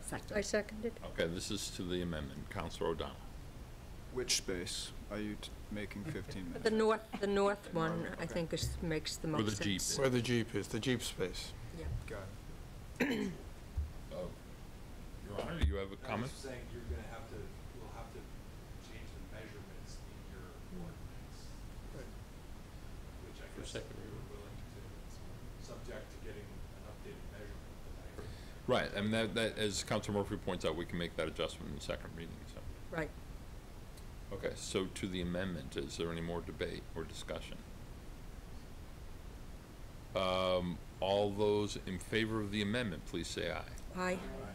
Opposed? I'm opposed. Yeah. Um, okay, back to the original order with, as amended. So one fifteen-minute space. Uh, Councilman. I'd like to move it. Calling question. Okay. Uh, roll call, please. Councilor Klein? Yes. Councilor Labarge? Yes. Councilor Murphy? Yes. Councilor Nash? Yes. Councilor O'Donnell? No. Councilor Sciarra? Yes. Councilor Bidwell? No. Councilor Carney? Yes. Councilor Dwight? No. Okay. Yes. Oh, excuse me, no, six yes. Six yes, uh, three noes, and the motion carries and uh, will be revisited uh, in, in our next council meeting with updated measurements, hopefully. Okay. So, that moves us to 16, item 16.182 is an ordinance regarding no parking at certain times in the Roundhouse lot. This is the first reading. This is, uh, comes with a positive recommendation from the Transportation and Parking Commission and another neutral recommendation from the Committee on Legislative Matters. Is there a motion to put it on the floor? Second. So, um, rather than have me read the prosaic language, um, I will defer to Councilor O'Donnell again to explain what we got here. I'm happy to, although the mayor might be able to explain it better than I. This has to do with um, the 22 spaces that, um, I guess, the Roundhouse, owner of the Roundhouse building received um, after the the lawsuit about the parking garage. Um, uh, part of the settlement was um, that the spaces would be given in in the parking garage, and if the parking garage wasn't built, then space, they would also receive these spaces. So my understanding is it's current practice that there are spaces to which they're entitled, and we're just enumerating these here in the code so we can enforce um, uh, and- and and tow people away if if need be, and just enforce them for uh, for them during business hours. In your honor, you're welcome to speak to this if you want. Uh, Pretty much covers it. Um, We really just need a, so, under the agreement that was signed, they're responsible for monitoring, enforcing um, the parking. You know, there's 22 spaces that are reserved. Um, You've probably seen them now down there. They're just little cones and Right. signs that we put up. And um, they're in charge of policing it. If they do see someone that is parked illegally, um, under the terms of the legal settlement, we're responsible for towing them.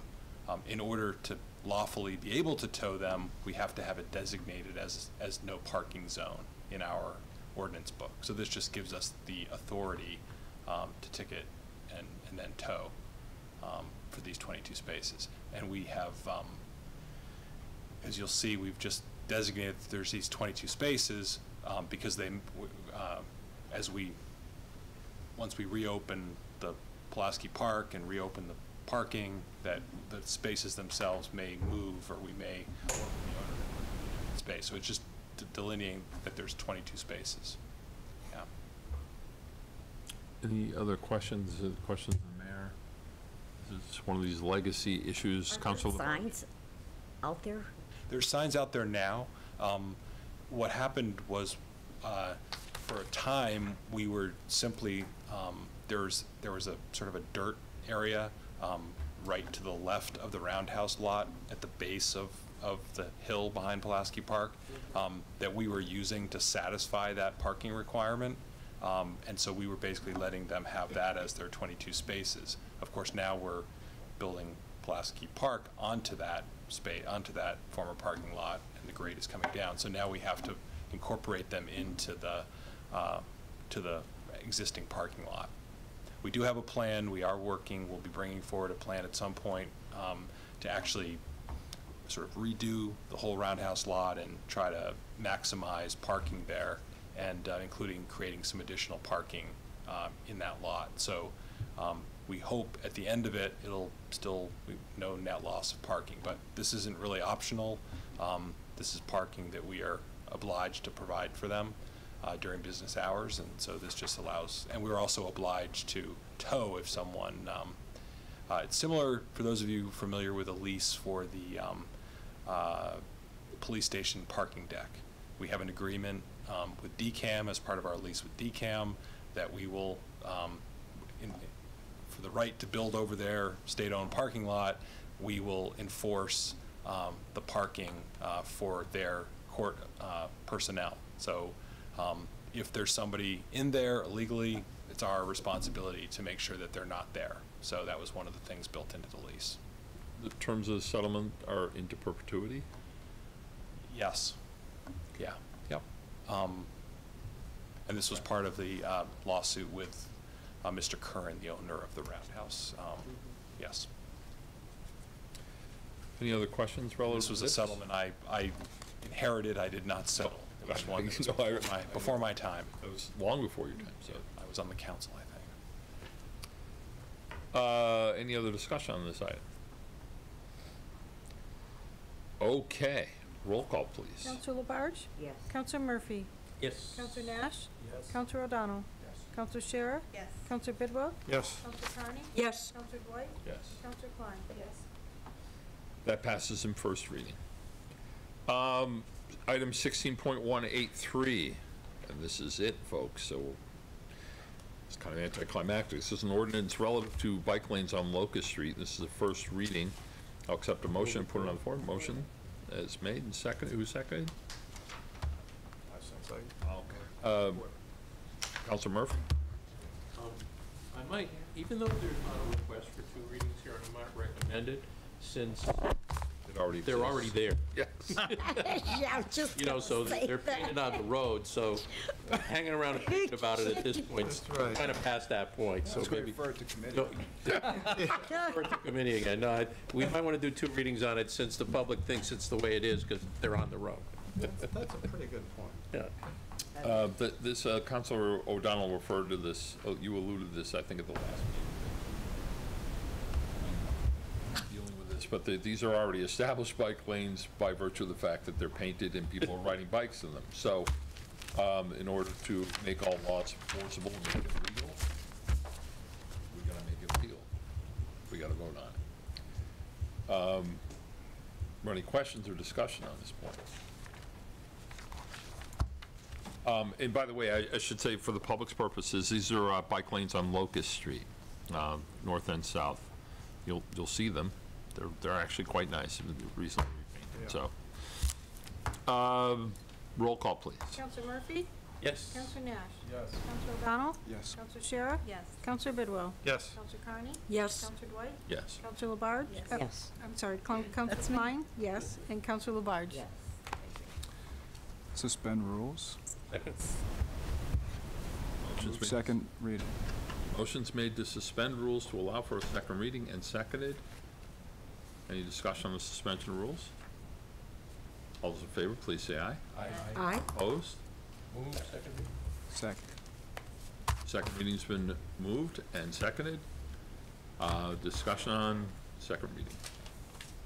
Roll call, please. Councilor Nash? Yes. Councilor O'Donnell? Yes. Councilor Sciarra? Yes. Councilor Bidwell? Yes. Councilor Carney? Yes. Councilor Dwight? Yes. Councilor Klein? Yes. Councilor Labarge? Yes. Councilor Murphy? Yes. Okay, that passes in two readings. Um, As far as updates go, um, I, I have none. Um, We've already done the committee appointments for Councilor Nash. I have no information request pending, uh, no study requests, no business, so I'll accept a motion. Can I, uh, Oh, yes? You can't do that. It's, it's a minor thing, but I would like to recognize the return of our friend and perennial mayoral candidate, who is back from his near-death experience. Hang on, Roy, we're not, We're not- We're not recognizing to speak, but we're just recognizing. Well, well, don't get carried away. I want to speak, no, no, I want to speak on a couple, couple of things, real, real. While you're We're not recognizing you, we're just recognizing. Well, Shut up and listen. No, no, Roy, I'm sorry, you're out of Okay. order. Okay, I'm, I- I'm ruling you out of order, so if, if you We're sit saying- down, we'll, s- we'll talk to you when we're done. go, go. We're glad you're back. Thank you so much. Then, okay, go, go and Good, good to shut see. down and then. Okay, good to see you again. I'll accept the motion to adjourn. Adjourned. Uh, motion's made and seconded. All those, it's not a debatable motion, Councilor Nash, just for, for future reference.